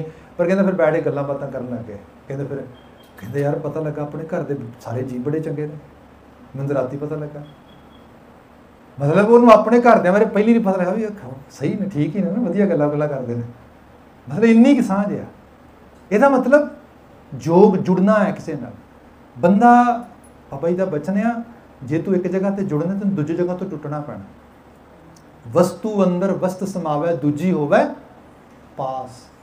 ਇੱਕ ਤੋਂ ਤੂੰ ਆਪਣੇ ਆਪ ਨੂੰ ਲਾਮੇ ਕਰੇਗਾ, ਪਾਸੇ ਕਰੇਗਾ, ਕੱਢੇਗਾ, ਤਾਂ ਦੂਜੇ ਪਾਸੇ ਜਾ ਕੇ ਅਟੈਚਡ ਹੋਏਗਾ। ਸੋ ਯੋਗ ਕਰੋ ਸਹੀ ਜਗ੍ਹਾ ਤੇ। ਸਹੀ ਜਗ੍ਹਾ ਤੇ ਯੋਗ ਕੀ ਕਰਨਾ ਆ? ਸਭ ਤੋਂ ਵੱਡਾ ਯੋਗ ਹੈ ਖਿਆਲਾਂ ਦਾ, ਬਚਨਾਂ ਦਾ, ਸੋਚਾਂ ਦਾ, ਗੱਲਾਂ ਦਾ। ਸਵੇਰ ਤੋਂ ਸ਼ਾਮ ਤੱਕ ਹਜ਼ਾਰਾਂ ਕਿਸਮ ਦੀਆਂ ਗੱਲਾਂ ਤੁਹਾਨੂੰ ਸੁਣਨ ਨੂੰ ਮਿਲਣਗੀਆਂ। ਹਜ਼ਾਰਾਂ ਕਿਸਮ ਦੇ ਬਚਨ ਸੁਣਨ ਨੂੰ ਮਿਲਣਗੇ। ਹੁਣ ਇਹ ਤੁਹਾਡੇ ਆਪਣੇ ਤੇ ਹੈ, ਤੁਸੀਂ ਕਿਸ ਨੂੰ ਸੁਣ ਕੇ ਪਰਸੀਵ ਕਰਕੇ ਪ੍ਰੋਸੈਸ ਕਰਨਾ ਹੈ। ਇਹ ਰੂਪ ਹੈ ਇੱਕ ਐਗਜ਼ਾਮਪਲ ਕਰ ਦਿੰਨਾ ਵਾ ਸੌਰੀ ਤੁਸੀਂ ਨਾ ਮੈਨੂੰ ਫੀਡਬੈਕ ਦੇ ਸਕਦੇ ਹੋ ਜੇ ਤੁਹਾਨੂੰ ਲੱਗੇ ਵੀ ਭਾਈ ਸਾਹਿਬ ਤੁਸੀਂ ਖਿੱਚਦੇ ਬਹੁਤ ਹੋ sorry for that my own kids were saying dad you keep on giving example and example and we totally forget actually what was the real thought i'm so sorry criticism ਇੱਥੇ ਸ਼ੁਰੂ ਹੁੰਦਾ ਸਾਡਾ ਹਨਾ ਮੈਂ ਕਿਹਾ ਸੌਰੀ ਹੈ ਨਾ ਮੈਨੂੰ ਹੁੰਦਾ ਕਿ ਜੇ ਗੱਲ ਮੈਨੂੰ ਕਿਸੇ ਨੇ ਸਮਝਾਉਣੀ ਤੇ ਸਪਸ਼ਟਤਾ ਨਾਲ ਸਮਝਾਏ ਇੱਥੇ ਬੱਚਾ ਸੀਗਾ ਪ੍ਰੋਵਿੰਸ਼ੀਅਲ ਪ੍ਰਿਜ਼ਨ ਦੇ ਵਿੱਚ। ਤੇ ਬੜੀ ਛਟਪਟਾਹਟ ਹੋਈ, ਬੜੀ ਐਫਰਟ ਪਾਈ, ਕੋਈ ਮੈਨੂੰ ਧਾਰਮਿਕ ਬੰਦਾ ਮਿਲਣ ਲਈ ਆਵੇ। ਕੋਈ ਬੰਦਾ ਨਹੀਂ ਸੀ ਜਾਂਦਾ ਮੋਸਟਲੀ ਕੋਈ ਜਾਂਦੇ ਨਹੀਂ ਮਿਲਣ ਮਿਲਣ ਵਾਲੇ, ਸਾਡੇ ਟੈਬੂ ਵੀ ਬੜਾ ਵੱਡਾ ਹੈ। ਜਿਹੜਾ ਲੋਕਲ ਉੱਥੇ, ਹਰ ਜੇਲ੍ਹ 'ਚ ਇੱਕ ਚੈਪਲ ਬਣੀ ਹੈ, ਧਾਰਮਿਕ ਸਥਾਨ ਚਰਚ ਕਹਿ ਲਓ। ਉਹਦੇ 'ਚ ਚਲਾਉਣ ਵਾਸਤੇ ਉਹਨਾਂ ਦੇ EMPLOYE ਹੁੰਦੇ ਨੇ, ਵਿੱਚ ਪੇਡ ਤੇ ਉਸ ਨੂੰ ਉਸਨੇ ਬੜਾ ਉਹਨੇ ਉਹਦੀ ਮਿਹਨਤ ਕੀਤੀ। ਅਲਟੀਮੇਟਲੀ ਉਹਨੇ ਇਧਰ ਉਧਰ ਯਤਨ ਕੀਤਾ, ਜਿੰਨ ਅਸੀਂ ਫੈਡਰਲ ਪ੍ਰਿਜ਼ਨ 'ਚ ਮੋਸਟਲੀ ਕੰਮ ਕਰਦੇ ਹਾਂ ਪ੍ਰੋਵਿੰਸ਼ੀਅਲ ਪ੍ਰਿਜ਼ਨ ਪ੍ਰਿਜ਼ਨ ਦੀ ਗੱਲ ਕਰਾਂ ਨਹੀਂ ਮੈਕਲੌਗਲਨ ਦੇ ਉੱਤੇ ਇੱਥੇ। ਤੁਸੀਂ ਜੇ ਮੈਕਲੌਗਲਨ ਤੇ ਕੁਈਨ ਦੇ ਕਾਰਨਰ ਤੇ ਦੇਖੋਗੇ ਉੱਥੇ ਆ ਮੈਨੂੰ ਕਾਲ ਆਈ, ਕਹਿਣ ਲੱਗਾ ਵੀ we need some support from you ਮੈਂ ਕਿਹਾ ਦੱਸੋ, ਕਹਿੰਦਾ ਕੋਈ ਲੜਕਾ ਆ, ਤੇ ਉਹ ਤੈਨੂੰ ਮਿਲਣਾ ਚਾਹੁੰਦਾ ਤੇ ਬੜੀ ਅਰਜੈਂਸ ਹੈ। ਮੈਂ ਕਿਹਾ, ਠੀਕ ਹੈ ਮੈਂ ਚਲਾ ਗਿਆ ਉਹਦੇ ਕੋਲ। ਲੰਮੀ ਸਟੋਰੀ ਹੈ, ਮੈਂ ਸ਼ਾਇਦ ਕਿਤੇ ਬਾਤ ਕੀਤੀ ਬਟ ਟੂਕ ਮਾਤਰੀ ਬੇਨਤੀ ਕਰਦਾ। ਮੈਨੂੰ ਮਿਲਿਆ ਬੜਾ ਪਿਆਰ ਨਾਲ, ਸਤਿਕਾਰ ਨਾਲ ਗੋਡਿਆਂ ਨੂੰ ਹੱਥ ਲਾਇਆ ਗਲਵਕੜੀ ਪਾਈ, ਰੋਇਆ ਬਹੁਤ, ਬੜਾ ਕਾਫੀ ਕੁਝ ਹੋਇਆ, ਬੈਠਾ ਰਿਹਾ, ਕਾਫੀ ਦੇਰ। ਓਕੇ ਲੌਂਗ ਸਟੋਰੀ ਸ਼ਾਰਟ ਮੈਂ ਕਿਹਾ ਵੀ ਟਾਈਮ ਸਾਡੇ ਕੋਲ ਲਿਮਟਿਡ ਆ, ਤੇ ਉਹਦੇ ਕੋਲ ਮੈਂ ਆਪਣੀ ਜ਼ਿੰਦਗੀ ਦੇ ਜਜ਼ਬਾਤ ਸ਼ੇਅਰ ਕਰਨੇ ਸਾਰਾ ਕੁਝ ਮੈਂ ਚੋਈ ਉਹ ਬਾਅਦ ਕਰ ਲਈ। ਮੈਂ ਤੇਰੀ ਕੀ ਹੈਲਪ ਕਰਾਂ? ਕਹਿੰਦਾ ਜੀ, ਜਿਸ ਕਾਰਜ, ਜਿਸ ਕਾਰਨ ਇੱਥੇ ਜੇਲ੍ਹ 'ਚ ਪਹੁੰਚਿਆ ਵਾਂ ਉਹਦੇ ਕਰਕੇ ਸਜ਼ਾ ਭੁਗਤੀ ਹੈ, ਸਜ਼ਾ ਆਲਮੋਸਟ ਪੂਰੀ ਹੋਣ ਵਾਲੀ ਹੈ ਰਿਲੀਜ਼ਿੰਗ ਪਲਾਨ ਬਣ ਗਿਆ। ਬਾਹਰ ਜਾ ਰਿਹਾ। ਇੱਥੇ ਅੰਦਰ ਮੈਂ ਇੱਕ ਪ੍ਰੋਗਰਾਮ ਅਟੈਂਡ ਕਰਦਾ ਸੀ ਅਲਕੋਹਲ ਅਨੋਨਿਮਸ ਉਹਨੂੰ ਰੱਬ ਮੰਨਦੇ ਨੇ ਇੱਥੇ। ਬਹੁਤ ਸ਼ਰਾਬ ਛੜਾਈ ਉਹਨਾਂ ਨੇ, ਬਹੁਤ ਵੱਡੇ ਪੱਧਰ ਤੇ ਅਲਕੋਹਲ ਅਨੋਨਿਮਸ ਕਿਸ ਦਿਨ ਉਹਦੀ ਹਿਸਟਰੀ ਬਿਆਨ ਕਰਾਂਗਾ, ਉਹ ਤੁਹਾਨੂੰ ਵੀ ਕਿਵੇਂ ਚੀਜ਼ਾਂ ਕੰਮ ਕਰਦੀਆਂ ਨੇ। ਕੱਲੇ ਦੁਕੱਲੇ ਬੰਦੇ ਵੀ ਕਿੱਡਾ ਵੱਡਾ ਡੰਟ ਪਾ ਜਾਂਦੇ ਧਰਤੀ ਦੇ ਉੱਤੇ। ਖੈਰ, ਉਹ ਕਹਿੰਦਾ ਕਿ ਉਹਨਾਂ ਦੀ ਮੈਂ ਮੀਟਿੰਗਸ ਇੱਥੇ ਹੁੰਦੀਆਂ, ਉਹ ਅਟੈਂਡ ਕਰਦਾ ਸਭ ਕੁਝ ਹੁਣ ਗੱਲ ਇਹ ਹੈ ਕਿ ਉਹ ਹੈਲਪਫੁਲ ਸੀ, ਬੜਾ ਸੀ, ਪਰ ਹੁਣ ਮੈਨੂੰ ਬਹੁਤ ਡਰ ਲੱਗਦਾ। ਡਾਰੇ ਲੱਗਦਾ ਕਿ ਉਹਨਾਂ ਨੇ ਮੈਨੂੰ ਕਿਹਾ ਵੀ ਤੂੰ ਸਾਰੀ ਜਿਹੜੀ ਸੰਗਤ ਜਿਹੜੀ ਤੇਰੇ ਨਸ਼ੇ ਕਰਾਉਣ ਵਾਲੀ ਸੀ, ਵੇਚਣ ਵਾਲੀ, ਸਾਰੀ ਛੱਡ ਦੇ, ਤਾਂ ਬਚੇਗਾ। ਤੇ ਮੇਰੀ ਰਿਲੀਜ਼ਿੰਗ ਡੇਟ ਆ ਰਹੀ ਹੈ ਤੇ ਜਿੱਦਨ ਮੈਨੂੰ ਲੈਣ ਲਈ ਆਉਣਾ ਜਿਨ੍ਹਾਂ ਨੇ, ਉਹਨਾਂ ਨੇ ਮੈਨੂੰ ਚੱਕ ਕੇ ਜਾ ਕੇ ਪਾਰਟੀ ਕਰਨੀ ਹੈ। ਸੇਮ ਨਸ਼ਿਆਂ ਦੇ। ਕਹਿੰਦੇ ਉਹ ਮੈਨੂੰ ਕਹਿ ਰਿਹਾ ਵੀ ਤੂੰ ਇਹ ਸਭ ਤੋਂ ਬਾਹਰ ਆਉਣਾ ਤੇ ਮੇਰੀ ਤੇ ਰਿਲੀਜ਼ ਡੇਟ ਦੇ ਉੱਤੇ ਪਾਰਟੀ ਹੀ ਨਸ਼ਿਆਂ ਦੀ ਹੋਣੀ ਹੈ। ਸੋ ਮੈਨੂੰ ਲੱਗ ਰਿਹਾ ਵੀ ਮੈਂ ਤੇ ਮੈਨੂੰ ਮੇਰੇ ਦੇ ਬਚਣ ਦੇ ਕੋਈ ਅਸਾਰ ਨਹੀਂ ਹੈਗੇ। ਖੈਰ, ਜਿਹੜੀ ਮੈਨੂੰ ਗੱਲ ਕਹੀ ਤੇ ਸਮਹਾਉ ਵੈਗਰੂ ਨੇ ਤਰਸ ਕੀਤਾ ਤੇ ਉਹ ਗੱਲ ਉਹਦੀ ਸ਼ਾਇਦ ਪਕੜ ਚ ਆ ਗਈ। ਮੈਂ ਕਿਹਾ, ਇਹ ਕੁਝ ਹੋਰ ਨਹੀਂਗੇ ਵਰਡਸ ਨੇ। ਵਰਡਸ ਨੇ ਤੈਨੂੰ ਕਿਹਾ ਕਿ ਤੇਰਾ ਕੁਝ ਨਹੀਂ ਹੋ ਸਕਦਾ, ਤੂੰ ਮਰ ਜਾਏਗਾ, ਤੂੰ ਡੁੱਬ ਜਾਏਗਾ, ਤੂੰ ਗਰਕ ਜਾਏਗਾ ਵਰਡਸ ਨੇ। ਇਹ ਵੀ ਵਰਡਸ ਹੀ ਨੇ। ਵੀ ਤੇਰਾ ਕੁਝ ਨਹੀਂ ਵਿਗੜਨਾ, ਤੂੰ ਬਿਲਕੁਲ ਹੁਣ ਬਚ ਜਾਣਾ, ਤੇਰੀ ਚੜ੍ਹਦੀ ਕਲਾ ਹੋਣੀ ਹੈ both are the words. These are words and these are also words. But now, it depends on you. ਮੈਂ ਤੈਨੂੰ ਇਹ ਕਹਿਣਾ ਆ ਛੱਤ ਜਿਹੜੀ ਡਿੱਗ ਪੈਣੀ ਹੈ ਆ ਪਿੱਲਰ ਟੁੱਟ ਜਾਣੇ ਨੇ। ਆ ਚੀਜ਼ ਹੋ ਜਾਣੀ ਹੈ ਤੂੰ ਪਰਸੀਵ ਕਰ ਲੇਗਾ। ਕਹਿੰਦੇ, ਨਹੀਂ ਕਰਾਂਗਾ। ਹਾਂ, ਮੈਂ ਕਿਹਾ ਰੈਸ਼ਨਲ ਮਾਈਂਡ ਕੰਮ ਕਰਦਾ। ਜੇ ਕਿਤੇ ਬਹੁਤ ਡਰ ਹੋਏ, ਕਿਤੇ ਪੁਰਾਣੀ ਕੋਈ ਹਿਸਟਰੀ ਹੋਏ, ਛੱਤ ਡਿੱਗਦੀ, ਦੇਖੀ ਹੋਏ ਕਿਤੇ ਮਤਲਬ ਜਿਹੜੇ ਇੱਥੇ ਲੋਕ ਹੁਣ ਉੱਥੋਂ ਆ ਰਹੇ ਨੇ ਸੀਰੀਆ ਤੋਂ, ਤੇ ਉਹਨਾਂ ਦਾ ਟਰਾਮਾ ਬੱਚਿਆਂ ਦਾ ਜੋ ਤੁਸੀਂ ਸੁਣੋਗੇ, ਤੁਸੀਂ ਬੱਚੇ ਰਾਤ ਨੂੰ ਮਤਲਬ ਕਈ ਕਈ ਮਹੀਨਿਆਂ ਤੱਕ, ਅਜੇ ਤੱਕ ਵੀ ਬੱਚਾ ਉੱਠਦਾ ਤੇ ਉੱਠ ਕੇ ਮੰਮੀ, ਡੈਡੀ ਨੂੰ ਕਹਿੰਦਾ, ਜਲਦੀ ਬਾਹਰ ਨਿਕਲੋ, ਮੈਨੂੰ ਛੱਤ ਡਿੱਗਦੀ ਦਿਸ ਰਹੀ ਹੈ। ਟਰਾਮਾ ਉਹਨੂੰ ਕਿੰਨੀ ਕਿੰਨੀ ਵਾਰੀ ਰਿਅਲਾਈਜ਼ ਕਰਾਉਣਾ ਪੈਂਦਾ ਵੀ ਨਹੀਂ ਨਹੀਂ, ਇਹ ਇਹ ਨਹੀਂ ਛੱਤ ਨਹੀਂ ਡਿੱਗਦੀ। ਕਹਿੰਦੇ, ਨਹੀਂ, ਕਿਉਂਕਿ ਉਹਦਾ ਐਕਸਪੀਰੀਅੰਸ ਕਹਿੰਦਾ ਵੀ ਛੱਤਾਂ ਡਿੱਗਦੀਆਂ ਉਹਦਾ ਐਕਸਪੀਰੀਅੰਸ ਕਹਿੰਦਾ ਵੀ ਘਰਾਂ 'ਚ ਲੋਕੀ ਦੱਬੇ ਰਹਿ ਜਾਂਦੇ ਨੇ, ਥੱਲੇ ਇਸ ਤਰੀਕੇ ਨਾਲ ਮਰ ਜਾਂਦੇ ਨੇ ਇਸ ਤਰੀਕੇ ਨਾਲ। ਮੈਂ ਕਿਹਾ ਜੇ ਇਹੋ ਜਿਹਾ ਐਕਸਪੀਰੀਅੰਸ ਹੋਏ ਤੇ ਤੈਨੂੰ ਕਹੇ, ਹਾਂ, ਛੱਤ ਡਿੱਗ ਸਕਦੀ ਹੈ। ਪਰ ਇਨ ਡੀਡ ਇਨ ਰਿਐਲਿਟੀ ਗੱਲ ਇਹ ਜੇ ਥਾਟ ਨੂੰ ਸੁਰਤ 'ਚ ਜਗ੍ਹਾ ਦੇਗਾ ਉਹ ਤਾਂ ਬੀਜ ਬਣ ਕੇ ਉੱਗੇਗਾ ਮੈਨੀਫੈਸਟ ਹੋਏਗਾ। ਹੁਣ ਤੇਰੇ ਤੇ ਹੈ। ਇੱਕ ਥਾਟ ਤੈਨੂੰ ਉਹ ਕਹਿ ਰਹੇ ਨੇ ਕਿ ਤੂੰ ਬਚੇਗਾ ਨਹੀਂ, ਇੱਕ ਥਾਟ ਮੈਂ ਤੈਨੂੰ ਦੇਣਾ ਹਾਂ ਚੋਇਸ ਤੇਰੀ ਹੈ। ਮੇਰਾ ਥਾਟ ਇਹ ਹੈਗਾ ਵੈਗਰੂ ਨੇ ਤੈਨੂੰ ਬਚਾਉਣਾ ਸੀਗਾ ਤੂੰ ਤੱਕ ਲੈ ਆਂਦਾ ਐਫਰਟ ਤੇਰੀ ਨੂੰ ਫਲ ਲੱਗਾ ਆ ਤੂੰ ਐਫਰਟ ਪਾਈ ਹੈ ਮੇਰੇ ਵਰਗਾ ਬੰਦਾ ਜਿਹੜਾ ਇੰਨਾ ਬਿਜ਼ੀ ਹੈ ਸਭ ਕਾਸੇ ਨੂੰ ਛੱਡ ਕੇ ਤੈਨੂੰ ਮਿਲਣਾ ਆ ਲੁੱਕ ਐਟ देयर ਅਗਲੀ ਗੱਲ ਬਾਹਰ ਜਾਏਗਾ ਆਪਣੇ ਆਪ ਨੂੰ ਦੱਸਣਾ ਆ ਕਿ ਸਾਰੀ ਡਿਸਟਰੈਕਸ਼ਨ ਆ ਇਸ ਇਹਨੂੰ ਆਪਣੇ ਤੇ ਹਾਵੀ ਨਹੀਂ ਹੋਣ ਦੇਣਾ ਬਸ ਇਹ ਥਾਟਸ ਨੇ ਇਹਨਾਂ ਨੂੰ ਪਰਸੀਵ ਕਰ ਪ੍ਰੋਸੈਸ ਕਰ, ਇਹਨੇ ਹੀ ਮੈਨੀਫੈਸਟ ਹੋ ਕੇ ਬਦਲ ਦੇਣਾ। ਮੈਨੂੰ ਕਹਿੰਦਾ, ਤੁਸੀਂ ਨਹੀਂ ਲੈਣ ਆ ਸਕਦੇ ਮੈਨੂੰ। ਮੈਂ ਕਿਹਾ, ਬੱਚੇ, ਜਿੰਨੇ ਤੂੰ ਪਿਆਰ ਨਾਲ ਕਿਹਾ, ਮੈਂ ਆ ਜਾਂਦਾ, ਕੋਈ ਗੱਲ ਨਹੀਂ। ਪਰ ਅਨਫੋਰਚੂਨੇਟ ਪਾਰਟ ਹੈ ਕਿ ਮੇਰਾ ਕੁਝ ਪਲਾਨ ਹੈ ਆਲਰੇਡੀ ਤੇ ਮੈਂ ਬਾਹਰ ਜਾਣਾ ਸੀਗਾ ਟਰੈਵਲ ਕਰਨ ਵਾਸਤੇ। ਆਈ ਵੋਂਟ ਬੀ ਹੇਅਰ ਕਿਸੇ ਦੀ ਡਿਊਟੀ ਨਹੀਂ ਲਾ ਸਕਦਾ ਕਿਉਂਕਿ ਬੀਇੰਗ ਅ ਪ੍ਰੋਫੈਸ਼ਨਲ ਸਾਡੇ ਲਈ ਬਹੁਤ ਸਾਰੀਆਂ ਲਾਇਬਿਲਿਟੀਜ਼ ਹੁੰਦੀਆਂ ਉਸ ਤਰੀਕੇ ਨਾਲ। ਸੋ ਸਾਰੀ ਗੱਲਬਾਤ ਹੋਈ। ਮੈਨੂੰ ਬੜਾ ਮਨ ਵਿੱਚ ਮਲਾਲ ਆਇਆ। ਮੈਂ ਬੜਾ ਔਖਾ ਮਨ ਹੋ ਕੇ ਲੈ ਕੇ ਆਇਆ ਉੱਥੋਂ। ਸਾਰੀ ਗੱਲ ਹੋ ਗਈ, ਖੈਰ ਲੌਂਗ ਸਟੋਰੀ ਸ਼ਾਰਟ ਕਰਾਂ ਉਸ ਨੂੰ ਮੈਨੂੰ ਅਖੀਰ ਸੁਰਤ ਚੋਂ ਚੀਜ਼ ਨਿਕਲ ਗਈ। ਕਾਫੀ ਮਹੀਨੇ ਨਿਕਲ ਗਏ। ਕਾਫੀ ਮਹੀਨਿਆਂ ਬਾਅਦ ਗਲਿਡਨ ਰੋਡ ਗੁਰਦੁਆਰਾ ਸਾਹਿਬ, ਮੈਂ ਕਿਸੇ ਪ੍ਰੋਗਰਾਮ ਤੇ ਗਿਆ ਤੇ ਇੱਕ ਬੱਚਾ ਮੈਨੂੰ ਦੂਰੋਂ ਭੱਜਾ ਲਗਾਉਂਦਾ ਮਿਲਣ ਵਾਸਤੇ। ਸੇਮ ਵੇ ਨਾਲ ਆ ਕੇ ਮੈਨੂੰ ਗੁੱਟ ਪੈਰਾਂ ਨੂੰ ਹੱਥ ਲਗਾਉਣ ਲੱਗਾ ਤੇ ਮੈਂ ਉਹਦੇ ਹੱਥ ਫੜੇ, ਫਤਿਹ ਬੁਲਾਈ। ਜਦੋਂ ਸਾਰੀ ਉਹਦੀ ਆਵਾਜ਼ ਕੱਢੀ ਤੇ ਉਹਦੀ ਆਵਾਜ਼ ਤੇ ਸ਼ਕਲ ਰਲੇ, ਮੈਨੂੰ ਰਾਈਟ ਪਤਾ ਲੱਗ ਗਿਆ, ਘੁੱਟ ਕੇ ਮਿਲਿਆ। ਹੋਇਆ ਕਿ? ਬਦਲ ਗਿਆ। ਕਹਿੰਦੇ, ਕਹਿੰਦਾ ਉਹ ਵੀ ਲੈ ਕੇ ਗਏ, ਸਾਰਾ ਕੁਝ ਹੋਇਆ। ਜਾ ਕੇ ਉੱਥੇ ਤੇ ਸਾਰਾ ਚੱਲਿਆ ਸਭ ਚੀਜ਼ਾਂ ਦਾ ਦੌਰ। ਕਹਿੰਦੇ ਉਹ ਵਾਰ-ਵਾਰ ਜਿਹੜਾ ਜਿਵੇਂ ਤੁਸੀਂ ਕਿਹਾ ਸੀਗਾ ਥਾਟ ਅਪੀਲ ਕਰਦਾ ਗਿਆ। ਵੀ ਇਹ ਹੈ, ਕਿਸੇ ਨੇ ਕਿਹਾ ਸੀ, ਬਰਬਾਦ ਹੋ ਜਾਏਗਾ, ਉਹਨੇ ਕਿਹਾ ਸੀ, ਆਬਾਦ ਰਹੇਗਾ। ਹੁਣ ਕਿਹੜੇ ਥਾਟ ਨੂੰ ਥਾਂ ਦੇਣੀ ਜੇ ਤੁਹਾਨੂੰ ਸਹੀ ਥਾਟ ਨਾਲ ਜੁੜਨਾ ਆ ਗਿਆ, ਤੁਹਾਡਾ ਯੋਗ ਹੋ ਗਿਆ। ਇਹ ਯੋਗ ਹੈ। ਇਹੀ ਹੈ ਐਕਚੁਅਲ ਲੈਵਲ ਤੇ, ਜਿਹਨੂੰ ਕਨਸੀਵਿੰਗ ਕਰਨਾ ਕਹਿੰਦੇ ਆ ਨਾ ਅਸੀਂ। Conceiving no doubt we, we are usually talk about it's a biological act. But indeed it's a mother nature's big lies happening over there. ਬਹੁਤ ਸਾਰੀਆਂ ਚੀਜ਼ਾਂ ਉਹਦੇ ਚ ਰੋਲ ਪਲੇ ਕਰਦੀਆਂ ਨੇ ਵੈਰੀ ਹੁੰਦੀਆਂ ਤਾਂ ਜਾ ਕੇ ਉਹ ਚੀਜ਼ ਹੁੰਦੀ ਉਸ ਰੂਪ ਵਿੱਚ ਇੱਥੇ ਵੀ ਬਾਬਾ ਜੀ ਨੇ ਕਿਹਾ ਜੇ ਕਿਤੇ ਤੂੰ ਐਫਰਟ ਪਾਏ ਸੁਣਿਆ ਸਹੀ ਰੂਪ ਵਿੱਚ ਤੈਨੂੰ ਮੈਸੇਜ ਪਰਸੀਵ ਕਰਨ ਦੀ ਜਾਚ ਆ ਗਈ ਜੋਗ ਉਸ ਰੂਪ ਵਿੱਚ ਤੈਨੂੰ ਅਟੈਚਮੈਂਟ ਕਰਨ ਦੀ ਜਾਤ ਆ ਜਾਏਗੀ ਜੁਗਤ ਇਹਨੂੰ ਮੈਥਡ ਕਹਿੰਦੇ ਨੇ ਤਰੀਕਾ ਜੁਗਤੀ ਢੰਗ ਜਿਸ ਢੰਗ ਨਾਲ ਮੈਂ ਅੱਜ ਕੰਮ ਕੀਤਾ, ਕੰਮ ਨਹੀਂ ਹੋਇਆ, ਮੈਨੂੰ ਨੈਕਸਟ ਡੇ ਉਸ ਢੰਗ ਨੂੰ ਦੁਬਾਰਾ ਜਿਹੜਾ ਹੈਗਾ ਰਿਪੀਟ ਨਹੀਂ ਕਰਨਾ ਚਾਹੀਦਾ। ਮੈਨੂੰ ਢੰਗ ਬਦਲ ਲੈਣਾ ਚਾਹੀਦਾ। ਜਿਸ ਢੰਗ ਨਾਲ ਅੱਜ ਕੰਮ ਕੀਤਾ, ਢੰਗ, ਕੰਮ ਹੋ ਗਿਆ, ਮੈਨੂੰ ਉਹਨੂੰ ਰਿਪੀਟ ਕਰਨਾ ਚਾਹੀਦਾ, ਇਸ ਢੰਗ ਨਾਲ ਅੱਗੇ ਵੀ ਕੰਮ ਹੋ ਜਾਏਗਾ। ਇੰਨਾ ਹੀ ਅਸੀਂ ਸਿਰਫ ਖਿਆਲ ਕਰਦੇ ਹਾਂ। ਤੁਸੀਂ ਕੋ ਸੋਚੋ ਕਾਉਂਸਲਿੰਗ ਇਹ ਸਾਡਾ ਕੋਈ ਬਹੁਤ ਵੱਡਾ ਕੰਮ ਹੈ। ਕਾਉਂਸਲਿੰਗ ਦੇ ਸਾਡੇ ਕੋਲ ਕੁਝ ਨਹੀਂ ਹੁੰਦਾ। ਬੰਦੇ ਕੋਲ ਹੀ ਹੁੰਦਾ ਸਾਰਾ ਕੁਝ ਅਸੀਂ ਉਹਦੇ ਕੋਲ ਹੀ ਸੁਣਦੇ, ਪੜ੍ਹਦੇ ਹਾਂ, ਦੇਖਦੇ ਹਾਂ, ਅੱਛਾ ਪਿਛੋਕੜ ਦੇ ਵਿੱਚ ਆ ਇਸ਼ੂ ਸੀ, ਇੱਥੇ ਆ ਸਟ੍ਰੈਟਜੀ ਕੰਮ ਕਰ ਗਈ। ਤੂੰ ਰਿਪੀਟ ਨਹੀਂ ਕੀਤੀ, ਹੁਣ ਤੇਰੀ ਮਦਦ ਕਰਾਂਗੇ ਉਹਨੂੰ ਰਿਪੀਟ ਕਰਾਉਣ ਵਿੱਚ। ਤੇਰੇ ਕੋਲ ਹੈਗੀ ਇਹ ਸਟ੍ਰੈਟਜੀ ਜੇ ਤੂੰ ਸਪੋਜ਼ ਕਰੋ ਇੱਕ ਦਿਨ ਨਸ਼ੇ ਤੋਂ ਬਿਨਾ ਰਹਿ ਸਕਦਾ, ਤੂੰ ਦੋ ਦਿਨ ਵੀ ਰਹਿ ਸਕਦਾ। ਜੇ ਇੱਕ ਹਫਤਾ ਕੱਢ ਸਕਦਾ, ਤੂੰ ਦੋ ਹਫ਼ਤੇ ਵੀ ਕੱਢ ਸਕਦਾ। ਜੇ ਤੂੰ ਇੱਕ ਸਾਲ ਕੱਢ ਸਕਦਾ, ਤੂੰ ਦੋ ਸਾਲ ਵੀ ਕੱਢ ਸਕਦਾ। ਥੈਟ ਇਜ਼ ਦਾ ਵੇ ਇੱਥੇ ਕਿਆ ਸਹੀ ਸੁਣਨ ਦੇ ਨਾਲ ਜੋਗ, ਜੁਗਤ, ਤਨ ਭੇਦ, ਤਨ ਦੇ ਭੇਦ ਆ ਜਾਣੇ।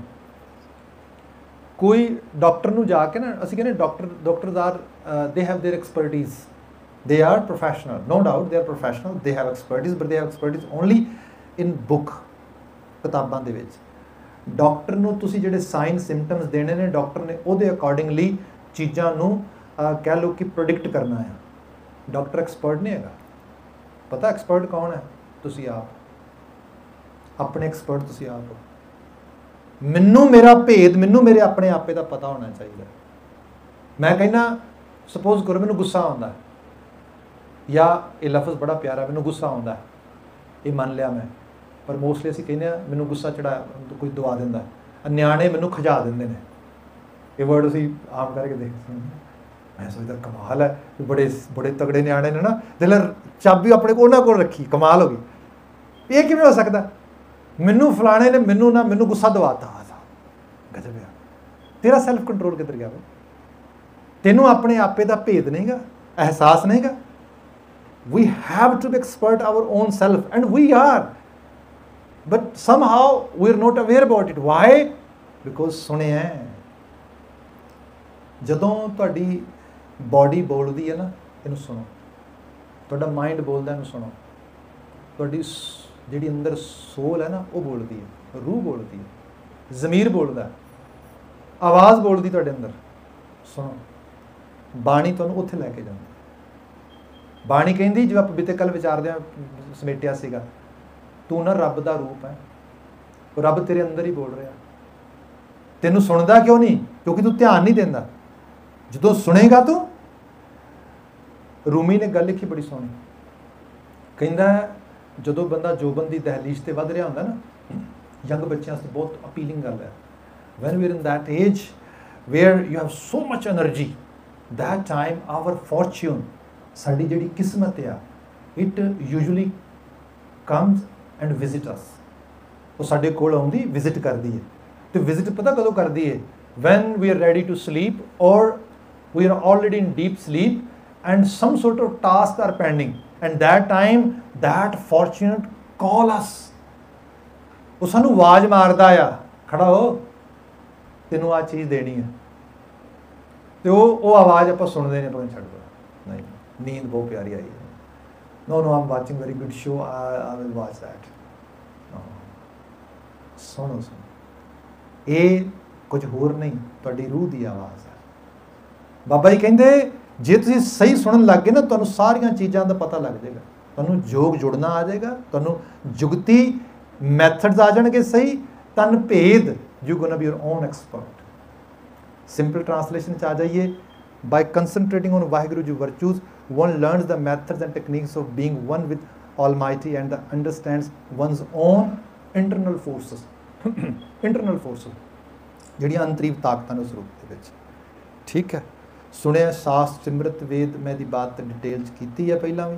ਟੂਕ ਮਾਤਰੇ ਨੂੰ ਬਿਆਨ ਕਰਦੇ ਆ ਕਿ ਜਿਹੜੇ ਗੁਰਮਤ ਸਕੂਲ ਆਫ ਥਾਟ ਦੇ ਅੰਦਰ ਅਸੀਂ ਦੁਨੀਆ ਦੀ ਕਿਸੇ ਵਿਚਾਰਧਾਰਾ ਨੂੰ, ਕਿਸੇ ਗਿਆਨ ਨੂੰ ਰੱਦ ਨਹੀਂ ਕੀਤਾ। ਬਲਕਿ ਕਿਹਾ ਆ, ਹਰ ਚੀਜ਼ ਨੂੰ ਪੜੋ ਸਮਝੋ, ਜਾਣੋ, ਅੱਗੇ ਵਧੋ। ਗਰੋ ਕਰੋ ਉਹਦੇ ਤੋਂ। ਇੱਥੇ ਸਾਡੇ ਘਰ ਦੇ ਵਿੱਚ ਮਤਲਬ ਹੋਰ ਤੇ ਗੱਲਾਂ ਰਹੀਆਂ। ਅਸੀਂ ਬੁੱਤਾਂ ਨੂੰ ਮਤਲਬ ਕਹਿ ਲਓ ਕਿ ਪੂਜਦੇ ਨਹੀਂਗੇ, ਪਰ ਕਮਾਲ ਹੈ, ਬੁੱਤ ਤੋੜਦੇ ਵੀ ਨਹੀਂਗੇ। ਇਹੀ ਇਹੀ ਸਿੱਖੀ ਸਕੂਲ ਆਫ ਥਾਟ ਹੈ ਮਤਲਬ ਇਹ ਬੰਦੇ ਨੇ ਕੋਈ, ਕਈ ਧਰਮ ਗ੍ਰੰਥਾਂ ਦੀ ਗੱਲ ਕੀਤੀ ਜਾਏ, ਤੇ ਦੁਨੀਆ ਦਾ ਹਰ ਧਰਮ ਜਿਹੜਾ ਆ, ਉਹਦੇ ਚ ਕੁਝ ਨਾ ਕੁਝ ਚੰਗੇਰੀਆਂ ਚੀਜ਼ਾਂ ਮਿਲਣਗੀਆਂ ਤੁਹਾਨੂੰ ਧਰਮ ਗ੍ਰੰਥਾਂ ਦੇ ਰੂਪ ਦੇ ਵਿੱਚ। ਉਹਨਾਂ ਦਾ ਅਹਿਸਾਸ ਕਿਤੇ ਸੁਰਤੇ ਚ ਰੱਖ ਆਪਣੇ ਆਲੇ ਦੁਆਲੇ। ਬਾਬਾ ਜੀ ਤੇ ਉਹਦੀ ਇੰਪਾਵਰਮੈਂਟ ਦੀ ਗੱਲ ਕਰਦੇ। ਮੁਸਲਮਾਨ ਧਰਮ ਸੀ ਵੱਡੇ ਪੱਧਰ ਤੇ ਰੂਲਰਸ ਜਿਹੜੀ ਕਹ ਲੋ ਜਮਾਤ ਸੀਗੀ people who ruling that time time Guru period time they were Muslims and and definitely they were uh, coming from establishment and they were giving hard time to guru ਤੇ ਇਨ ਅ ਵੇ ਇਹ ਗੱਲ ਕਹੀ ਹੈ ਕਿ ਜਿਹੜੀ ਸਟੈਬਲਿਸ਼ਮੈਂਟ ਇਹਨਾਂ hard time ਦਿੰਦੀ ਹੈ, ਉਹਦੇ ਤੇ ਅਗੇਂਸਟ ਖੜੋ, ਬਾਬਾ ਜੀ ਖੜੇ। ਪਰ ਬੀਇੰਗ ਅ ਕਮਿਊਨਿਟੀ ਮਤਲਬ ਕਮਿਊਨਿਟੀ ਮਤੇ ਸੋਚੇ ਕਿ ਸਾਨੂੰ ਗੁਰੂ ਬਾਬਾ ਜੀ ਕਹਿੰਦੇ ਵੀ ਸਾਨੂੰ ਲੋਅਰ ਲੈਵਲ ਤੇ ਉਹਨਾਂ ਨੂੰ ਮਲੇਸ਼ ਕਹਿੰਦੇ ਸੀ, ਮੈਲੇ ਨੇ। ਬਾਬਾ ਜੀ ਕਹਿੰਦੇ, ਨਹੀਂ ਨਹੀਂ, ਤੁਸੀਂ ਮੁਸਲਮਾਨ ਬੰਨਾ ਚੰਗੀ ਤਰ੍ਹਾਂ ਬਣੋ। ਬਾਣੀ 'ਚ ਪੂਰੀਆਂ ਨਮਾਜ਼ਾਂ ਦੀ ਗੱਲ ਹੈ ਪੂਰੀ ਬਾਬਾ ਜੀ ਨੇ ਹਜ ਦੀ ਗੱਲ ਕੀਤੀ ਸਾਰੀ ਗੱਲ ਕੀਤੀ ਇੱਥੋਂ ਤੱਕ ਡਿਫਾਈਨ ਕੀਤਾ ਮੁਸਲਮਾਨ ਮਹਾਰਾਜ ਦੇ ਮੁਸਲਮਾਨ ਕਹਾਵਣ ਮੁਸਕਰ ਬਹੁਤ ਔਖਾ ਹੈ ਮੁਸਲਮਾਨ ਬੰਨਾ you really want to claim that you are a Muslim? Yeah, I want to be. Then Baba is saying, you have to follow these steps. What are those steps? ਮੁਸਲਮਾਨ ਕਹਾਵਣ ਮੁਸ਼ਕਲ ਜਾਂ ਹੋਏ ਤਾਂ ਮੁਸਲਮਾਨ ਕਹਾਵੈ ਅਵਲ ਔਲ ਦੀਨ ਕਰ ਮੀਠਾ ਸ਼ਰਾ ਦੀ ਗੱਲ ਬਹੁਤ ਕੀਤੀ ਜਾਂਦੀ ਹੈ ਸਾਡੇ ਵੀ ਹੁੰਦੀ ਗੱਲ ਏ, ਸਾਨੂੰ ਬਾਣਾ ਬਹੁਤ ਚੰਗਾ ਲੱਗਦਾ ਹੈ ਬਾਣਾ ਵੇਖ ਕੇ ਸਾਡਾ ਰੂਹ ਖੁਸ਼ ਹੋ ਜਾਂਦੀ ਹੈ ਪਰ ਮਾਫੀ ਮੰਗਾਂਗਾ ਤਨ ਗੁਰੂ ਗੋਬਿੰਦ ਸਿੰਘ ਸਾਹਿਬ ਦਾ ਸਮਾਂ ਯਾਦ ਕਰੋ, ਜਿਸ ਨੇ ਬਾਣੇ 'ਤੇ ਐਮਫਸਾਈਜ਼ ਕੀਤਾ, ਜਿਨੇ ਕਿਹਾ ਕਿ ਇਹ ਪੰਜਾਂ ਤੋਂ ਬਿਨਾ ਬਿਲਕੁਲ ਮੈਨੂੰ ਸਵੀਕਾਰਿਆ ਨਹੀਂਗਾ ਹਰਗਿਜ਼ ਨਾ ਪੰਜ ਮਾਫ ਫਿਰ ਤੋਂ ਬਿਨਾ ਗੱਲ ਨਹੀਂ ਬਣੇਗੀ। ਪਰ ਉਹਨਾਂ ਨੇ ਆਪਣੇ ਸਮੇਂ ਦੇ ਵਿੱਚ ਖੋਤੇ ਤੇ ਸ਼ੇਰ ਦੀ ਖੱਲ ਪਾਈ। ਉਸ ਨੂੰ ਚੁਗਣ ਲਾਤਾ। ਸਾਖੀ ਆਪਨੇ ਸੁਣੀ ਨਾ ਕਿੰਨੀ ਕਿੰਨੀ ਵਾਰੀ? ਅਨੰਦਪੁਰ ਸਾਹਿਬ ਦਾ ਇੱਕ ਕੁਮਿਆਰ ਗੁਰੂ ਸਾਹਿਬ ਕੋਲ ਆਇਆ ਤੇ ਕਹਿੰਦਾ, ਮੇਰਾ ਖੋਤਾ ਗੁੰਮ ਹੋ ਗਿਆ, ਲੱਗਦਾ ਕੋਈ ਜੰਗਲੀ ਜਾਨਵਰ ਲੈ ਗਿਆ। ਤੇ ਕਹਿੰਦੇ, ਨਹੀਂ ਨਹੀਂ, ਐਵੇਂ ਤੇ ਕਿਵੇਂ ਕਹਿੰਦੇ, ਆ ਫਿਰ ਚੋਰੀ ਹੋ ਗਿਆ, ਕਿਉਂਕਿ ਹੋਰ ਵੀ ਨੁਕਸਾਨ ਕਰਦਾ। ਉਹ ਕਾਫੀ ਦਿਨ ਇਹ ਬਾਤ ਰਹੀ ਵੀ ਉਹਦਾ ਖੋਤਾ ਗੁੰਮ ਹੋ ਗਿਆ। ਤੇ ਨਾਲ ਦੀ ਨਾਲ ਇਹ ਚਰਚਾ ਹੋਣੀ ਸ਼ੁਰੂ ਹੋ ਗਈ ਵੀ ਆਲੇ ਦੁਆਲੇ ਕੋ ਬਹੁਤ ਖੁੰਖਾਰ ਸ਼ੇਰ ਤੁਰਿਆ ਫਿਰਦਾ। ਲੋਕੀ ਡਰਨ ਵੀ ਸ਼ੇਰ ਹੈ ਸ਼ੇਰ ਹੈ। ਉਹ ਇੱਕ ਦਿਨ ਉਹੀ ਘੁਮਿਆਰ ਆਪਣੇ ਖੋਤੇ ਲੈ ਕੇ ਚੁਗਾ ਰਿਹਾ। ਬਾਹਰ ਖੇਤਾਂ ਦੇ ਵਿੱਚ। ਤੇ ਉਸ ਸਮੇਂ ਉਹ ਸ਼ੇਰ ਉਹਦੇ ਖੋਤਿਆਂ ਦੇ ਕੋਲ ਆ ਗਿਆ ਤੇ ਉਹ ਡਰ ਕੇ ਭੱਜਣ ਲੱਗਾ। ਤਾਂ ਹੀ ਉਹਨੇ ਦੇਖਿਆ ਵੀ ਇਹ ਖੋਤੇ ਕਿਉਂ ਨਹੀਂ ਡਰ ਕੇ ਭੱਜੇ? ਭੱਜਣੇ ਚਾਹੀਦੇ ਸੀਗੇ। ਖੋਤੇ ਬੜੇ ਆਰਾਮ ਨਾਲ ਨੇ। ਜਦੋਂ ਕਲੋਜ਼ ਬਾਏ ਹੋਇਆ ਤਾਂ ਦੇਖਿਆ ਇਹ ਕਿ ਓ ਮਾਈ ਗॉश ਇਹ ਤੇ ਮੇਰਾ ਹੀ ਖੋਤਾ ਆ। ਤੇ ਖੋਤੇ ਤੇ ਕਿਸੇ ਨੇ ਸ਼ੇਰ ਦੀ ਖੱਲ ਪਾ ਦਿੱਤੀ। ਉਹ ਫਿਰ ਖੱਲ ਉਤਾਰ ਕੇ ਗੁਰੂ ਸਾਹਿਬ ਕੋਲ ਆ ਗਿਆ। ਤੇ ਮਹਾਰਾਜ ਨੂੰ ਆ ਕੇ ਕਹਿੰਦਾ, ਮਹਾਰਾਜ ਆ ਕਿਸੇ ਨੇ ਦੇਖੋ ਕਿੰਨੀ ਵੱਡੀ ਗੜਬੜ ਕੀਤੀ। ਬਾਬਾ ਇਹ ਕਿਸੇ ਨੇ ਨਹੀਂ ਕੀਤੀ।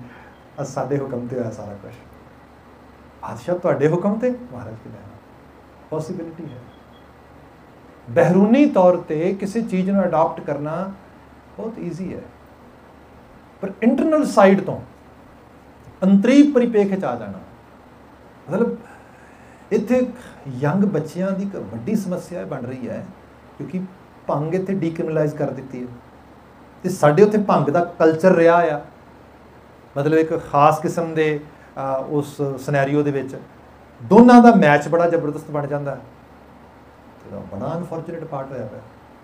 ਅਸੀਂ ਤੇ ਮਤਲਬ ਓਪਨਲੀ ਗੱਲ ਨਹੀਂ ਜ਼ਿਆਦਾ ਕਰਦੇ, ਕਿਉਂਕਿ ਕਈ ਵਾਰੀ ਚੀਜ਼ਾਂ ਨੂੰ ਬੜੇ ਰੋਂਗ ਪਰਸਪੈਕਟਿਵ ਵਿੱਚ ਲੈ ਲਿਆ ਜਾਂਦਾ ਆਨਲਾਈਨ ਜਾਂਦਾ ਸਾਰਾ ਕੁਝ ਨਹੀਂ ਤੇ ਬਹੁਤ ਵੱਡੇ ਪੱਧਰ ਤੇ ਸਮੱਸਿਆ ਖੜੀ ਹੋਈ ਪਈ।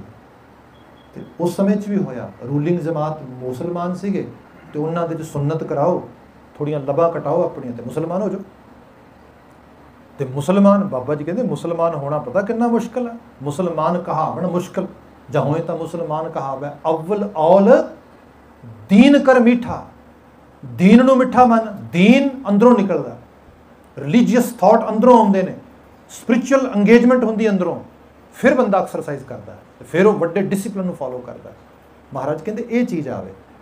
ਸ਼ਾਸਤਰ, ਵੇਦ, ਪੁਰਾਣ, ਕੁਰਾਨ, ਪ੍ਰੇਬ, ਅੰਜ਼ੀਲ, ਜੋ ਤੁਸੀਂ ਨਾਮ ਲਵੋ ਉਹ ਸਾਰਿਆਂ ਦੇ ਚ ਭੇਦ ਹੈ ਕੁਝ ਜਾਣਕਾਰੀ ਹੈ ਨੌਲੇਜ ਹੈ people can grip that knowledge if they're able to understand themselves properly and as well as the real human knowledge properly ਬਾਬਾ ਜੀ ਕਹਿੰਦੇ ਸੁਣਿਆ ਸਾਫ਼ Simrit Ved by concentrating on Waheguru ji virtues ਇਹ ਟ੍ਰਾਂਸਲੇਸ਼ਨ ਜਿਹੜੀ ਹੈ interpretation ਵਿੱਚ ਕੀਤੀ ਗਈ ਹੈ ਜਿਹੜੀ ਇਸ ਰੂਪ ਵਿੱਚ ਕੀਤੀ ਹੈ one is able to understand the message in these sacred writings ਜਿਹੜੀਆਂ sacred ਰਾਈਟਿੰਗਸ ਨੇ, ਇਹਨਾਂ ਦੇ ਕੁਝ ਡੀਪ ਲੈਵਲ ਤੇ ਅੰਡਰਸਟੈਂਡਿੰਗ ਵਿੱਚ ਆ ਸਕਦਾ ਹੈ।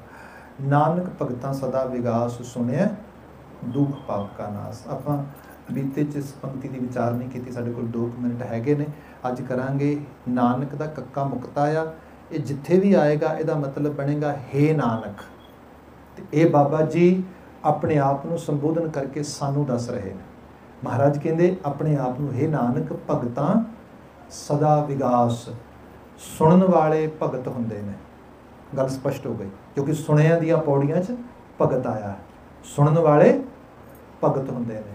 ਸਾਡੇ ਆਮ ਕਰਕੇ ਗੱਲ ਹੁੰਦੀ, ਜਿਹੜਾ ਬੱਚਾ ਸਾਡੀ ਬਹੁਤ ਗੱਲ ਸੁਣੇ ਨਾ, ਤੇ ਉਹਨੂੰ ਅਸੀਂ ਕੀ ਕਹਿ ਦਿੰਦੇ ਆ ਇਹ ਭਗਤ ਬਾਦ ਜਿਹੜਾ ਨਹੀਂ ਸੁਣਦਾ, ਉਹਨੂੰ ਅਸੀਂ ਕਹਿੰਦੇ ਖਰੂਦੀ। ਹੈ ਅਨਫੋਰਚੂਨੇਟ ਗੱਲ ਹੈ ਵੀ ਸਮਾਜ ਖਰੂਦੀ ਲੋਕਾਂ ਦਾ ਚੱਲਦਾ ਇਸ ਕਰਕੇ ਸਾਨੂੰ ਭਗਤ ਨਹੀਂ ਚਾਹੀਦੇ ਖਰੂਦੀ ਚਾਹੀਦੇ ਨੇ। ਆ ਬੜੀ ਦਿੱਕਤ ਹੈ।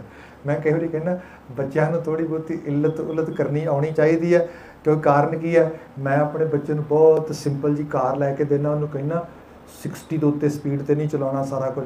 ਉਹ ਵਿਚਾਰਾ ਛੋਟੀ ਜੀ ਕਾਰ ਲੈ ਕੇ 60 ਦੀ ਸਪੀਡ ਨੂੰ ਫੋਲੋ ਕਰਦਾ ਤੇ ਉਹ ਉਹ ਬਿਲਕੁਲ ਪਿੱਛੇ ਰਹਿ ਜਾਏਗਾ, ਸਮਾਜ ਤੇ ਉਹ ਜਾ ਰਿਹਾ ਅੱਗੇ। He or she is gonna be left behind so ਇਸ ਸੰਸਾਰ ਨੂੰ ਸਮਝਣਾ, ਸਮਝਾਉਣਾ ਵੀ ਆਉਣਾ ਚਾਹੀਦਾ ਪਰ ਇਹ ਸਮਝਦਿਆਂ ਸਮਝਾਉਂਦਿਆਂ ਹੋਇਆਂ ਵੀ ਜਿਹੜਾ ਨਾ ਅਸੀਂ ਬਚਨ ਪੜ੍ਹਦੇ ਆ ਵੀ ਮਾਣ ਹੁੰਦਾ ਹੋਏ ਨਿਮਾਣਾ, ਤਾਣ ਹੁੰਦਾ ਹੋਏ ਨਿਤਾਣਾ। ਉਹਨੂੰ ਪਤਾ ਹੋਏ ਮਾਣ ਤਾਣ ਕੀ ਹੁੰਦਾ ਉਹ ਮਤਲਬ ਉਹਨੂੰ ਪਤਾ ਆ, ਉਹ ਸਿਆਣਾ ਹੋ ਕੇ ਅਜਾਣਾ ਵਰਤੇ। ਉਹ ਸਮਝਦਾਰ ਹੋਏ, ਕਜਾਕ ਨਾ ਹੋਏ, ਚਲਾਕੀ ਚ ਨਾ ਜਾਵੇ, ਭਗਤੇ ਭਾਉ ਦੇ ਵਿੱਚ ਗਾਤਿਆ ਵੈਸੇ ਭਗਤ ਆਪਣੇ ਆਪ ਵਿੱਚ ਟਰਮਨੋਲੋਜੀ ਬਹੁਤ ਕਮਾਲ ਦੀ ਹੈ। ਇਹਦੇ ਤਿੰਨ ਸਮਾਸ ਆਉਂਦੇ ਨੇ, ਭੱਬਾ, ਗੱਗਾ ਤੇ ਤੱਤਾ, ਇਹਨਾਂ ਤਿੰਨਾਂ ਦੀ ਟਰਾਂਸਲੇਸ਼ਨ ਆਪਣੇ ਆਪ ਵਿੱਚ ਬੜੀ ਜ਼ਬਰਦਸਤ ਹੈ। ਅੱਜ ਨਹੀਂ ਨਹੀਂ ਕਰ ਪਾਵਾਂਗੇ, ਪਰ ਨਾਨਕ ਭਗਤਾਂ ਸਦਾ ਵਿਗਾਸ ਸਦਾ ਵਿਗਾਸ ਮੀਨ ਹੈ always a pleasureful blissful state of mind we are all looking all that ਇਹਨੂੰ ਅਸੀਂ ਲੱਭ ਰਹੇ ਹਾਂ। ਆਨੰਦ ਅਵਸਥਾ ਜਿਹੜੀ ਹੈ, ਬੜੀ ਵੱਡੀ ਅਵਸਥਾ ਹੈ। ਡਰੱਗਸ ਲਾਈਨ ਚੋਂ ਗੱਲ ਕਰਦੇ ਨਾ ਬੀਇੰਗ ਅ ਕਾਉਂਸਲਰ ਮੇਰੀ ਗੱਲ ਫਿਰ ਵਾਰ-ਵਾਰ ਉੱਥੇ ਪਹੁੰਚ ਜਾਂਦੀ ਹੈ। ਤਿੰਨ ਡਰੱਗਸ ਲਾਈਨਸ ਹੈਗੀਆਂ ਨੇ ਮੇਨ ਰੂਟ ਦੇ ਵਿੱਚ। ਵਨ ਇਜ਼ ਸਟਿਮੂਲੇਟਿੰਗ ਸਾਈਟ ਜਿੰਨਾ ਕੋਕਾ ਵਾਲੀ ਲਾਈਨ ਤੋਂ ਦੀ ਕੋਕੇਨ ਵਾਲੀ ਲਾਈਨ ਤੋਂ ਤੇ ਜਿਹੜੀ ਖਾਸ ਕਰਕੇ ਓਪੀਅਮ ਲਾਈਨ ਆਉਂਦੀ ਹੈ ਇਸ ਸਟਿਮੂਲੇਸ਼ਨ ਵਿੱਚ ਆਉਂਦੀ ਜਿਹੜੀ ਸੈਕੰਡ ਲਾਈਨ ਹੈਗੀ ਹੈ, ਉਹ ਹੈਗੀ ਡਿਪਰੈਸਿਵ ਜਿਵੇਂ ਅਲਕੋਹਲ ਆ, ਪਹਿਲਾਂ ਸਟਿਮੂਲੇਟ ਕਰਦੀ, ਕੋਈ એનર્ਜੀ ਹੁੰਦੀ, ਫਿਰ ਡਿਪਰੈਸਿਵ ਕਰਦੀ ਹੈ। ਸ਼ਰਾਬੀ ਬੰਦੇ ਨੂੰ ਜਿਹਨਾਂ ਲੋਕਾਂ ਨੇ ਕਦੀ ਦੇਖਿਆ ਹੋਵੇ, ਕਿਉਂਕਿ ਮੈਂ ਤੇ ਬਹੁਤ ਦੇਖਿਆ, ਆਪਣੇ ਪਿੰਡਾਂ ਥਾਵਾਂ ਦੇ ਉੱਤੇ ਉਹ ਜਦੋਂ ਥੋੜੀ ਡਰਿੰਕ ਕਰਦੇ, ਪਹਿਲਾਂ ਪੂਰਿਆਂ ਬੜਕਾ ਮਾਰਦੇ, ਫਿਰ ਉਹੀ ਬੰਦਾ ਮੰਜੇ ਤੇ ਬੈਠ ਕੇ ਰੋ ਰਿਹਾ ਹੁੰਦਾ। ਜੋ ਪਿਛਲੀਆਂ ਗੱਲਾਂ ਆ ਹੁੰਦਾ ਕਹਿੰਦਾ, ਇਹਨੂੰ ਕੀ ਹੋ ਗਿਆ? ਇਹ ਕਿਉਂ ਰੋਈ ਜਾਂਦਾ? ਡਿਪਰੈਸਿਵ ਡਿਪਰੈਸ਼ਨ ਇਸ ਰੂਪ ਵਿੱਚ। ਦੋ ਲਾਈਨ ਮੇਨ ਨੇ, ਫਿਰ ਤੀਸਰੀ ਲਾਈਨ ਜਿਹੜੀ ਇਹ ਹੋਲੀਸੀਨੇਸ਼ਨ ਦੀ। ਜਿਹੜੀ ਹੋਲੀਸੀਨੇਸ਼ਨ ਦੀ ਲਾਈਨ ਆ ਅੱਜ ਕੱਲ ਵੈਸਟ ਦੇ ਵਿੱਚ ਇਹ ਡਰੱਗ ਦਾ ਬਹੁਤ ਜ਼ਿਆਦਾ ਚੱਲਣਾ। Marijuana is one of them. ਪਰ ਅਨਫੋਰਚੂਨੇਟ ਪਾਰਟ ਇਹ ਹੈ ਕਿ ਜਿਹੜਾ ਹੋਲੀਸੀਨੇਸ਼ਨ ਵਾਲਾ ਕਨਸੈਪਟ ਆ, ਇਹ ਬ੍ਰੇਨ ਦੇ ਕੈਸੇ ਪਾਰਟ ਤੇ ਜਾ ਕੇ ਅਸਰ ਕਰਦਾ, ਜਿਹਨੂੰ ਜਦੋਂ ਮੈਂ ਪੜਿਆ ਨਾ ਸ਼ੁਰੂ ਚ ਇੰਟਰੋਡਕਸ਼ਨ ਟੂ ਐਕਚੁਅਲੀ ਜਿਹੜਾ ਐਡਿਕਸ਼ਨ ਦੇ ਬਾਬਤ ਇੱਕ ਕੋਰਸ ਸੀ ਸਾਡਾ, ਤੇ ਆਈ ਵਾਸ ਸੋ ਐਕਚੁਅਲੀ ਕਨਫਿਊਜ਼ ਵੀ ਆ ਵਰਡ ਕੀ ਹੈ ਅਨੰਦਾ ਮਾਈਂਡ ਜਦੋਂ ਡੀਪ ਲੈਵਲ ਤੇ ਸਟੱਡੀ ਕੀਤੀ, ਪਤਾ ਲੱਗਾ ਆਨੰਦ ਤੋਂ ਆਨੰਦਾ ਬਣਿਆ ਲਫ਼ਜ਼। ਮਤਲਬ ਇੱਕ ਐਸੀ ਸਟੇਟ ਜਿਹਦੇ ਚ ਖੁਸ਼ੀ ਹੁੰਦੀ, ਭੰਗ ਪੀ ਲਈ, ਤੇ ਧੂਰਾ ਪੀ ਲਿਆ, ਇਹੋ ਜਿਹੀਆਂ ਚੀਜ਼ਾਂ ਤੇ ਬਸ ਹਰ ਵਕਤ ਸਮਾਈਲ ਹੋ ਰਹੀ ਹੈ ਇਹ ਸਮਾਈਲ ਫੇਕ ਹੈ। ਇਹ ਬਿਮਾਰ ਹੈ। ਇਹ ਬਿਮਾਰੀ ਲੱਗ ਗਈ। ਖੁਸ਼ੀ ਸਿਰਫ ਕੁਝ ਕੈਮੀਕਲ ਰਿਲੀਜ਼ ਕਰਨ ਦੇ ਨਾਲ ਜਾਂ ਕੁਝ ਡੋਪਾਮਾਈਨ ਰਿਲੀਜ਼ ਕਰਨ ਦੇ ਨਾਲ ਨਹੀਂ ਆਉਂਦੀ। ਖੁਸ਼ੀ ਇੱਕ ਵੱਡੀ ਪੜਾਅ ਦੀ ਚੀਜ਼ ਆ। ਇਹ ਜ਼ਿੰਦਗੀ ਦੇ ਦੁੱਖਾਂ, ਤਕਲੀਫਾਂ, ਵੇਦਨ ਪੀੜਾ ਵਿੱਚੋਂ ਲੰਘਦਿਆਂ ਹੋਇਆਂ ਵੀ ਬੰਦਾ ਆਪਣੇ ਜੀਵਨ ਦੇ ਵਿੱਚ ਖੁਸ਼ਨੁਮਾ ਅਹਿਸਾਸ ਵਿੱਚ ਰਹੇ। ਉਸ ਦਾ ਵਿਕਾਸ ਦੀ ਗੱਲ ਕੀਤੀ ਹੈ ਨਾਨਕ ਭਗਤਾਂ ਸੁਣੇ ਦੁੱਖ ਪਾਪ ਕਾ ਨਾਸ। ਦੁੱਖ ਤੇ ਪਾਪ ਇਹਨਾਂ ਦੀ ਡਿਟੇਲ 'ਚ ਗੱਲ ਕਰਾਂਗੇ। ਪਰ ਪਾਪ ਇੱਕ ਫੀਲਿੰਗ ਆ, ਦੁੱਖ ਉਹਦੇ ਚੋਂ ਨਿਕਲਿਆ ਹੋਇਆ ਐਕਟ ਆ ਰਿਜ਼ਲਟ ਆ।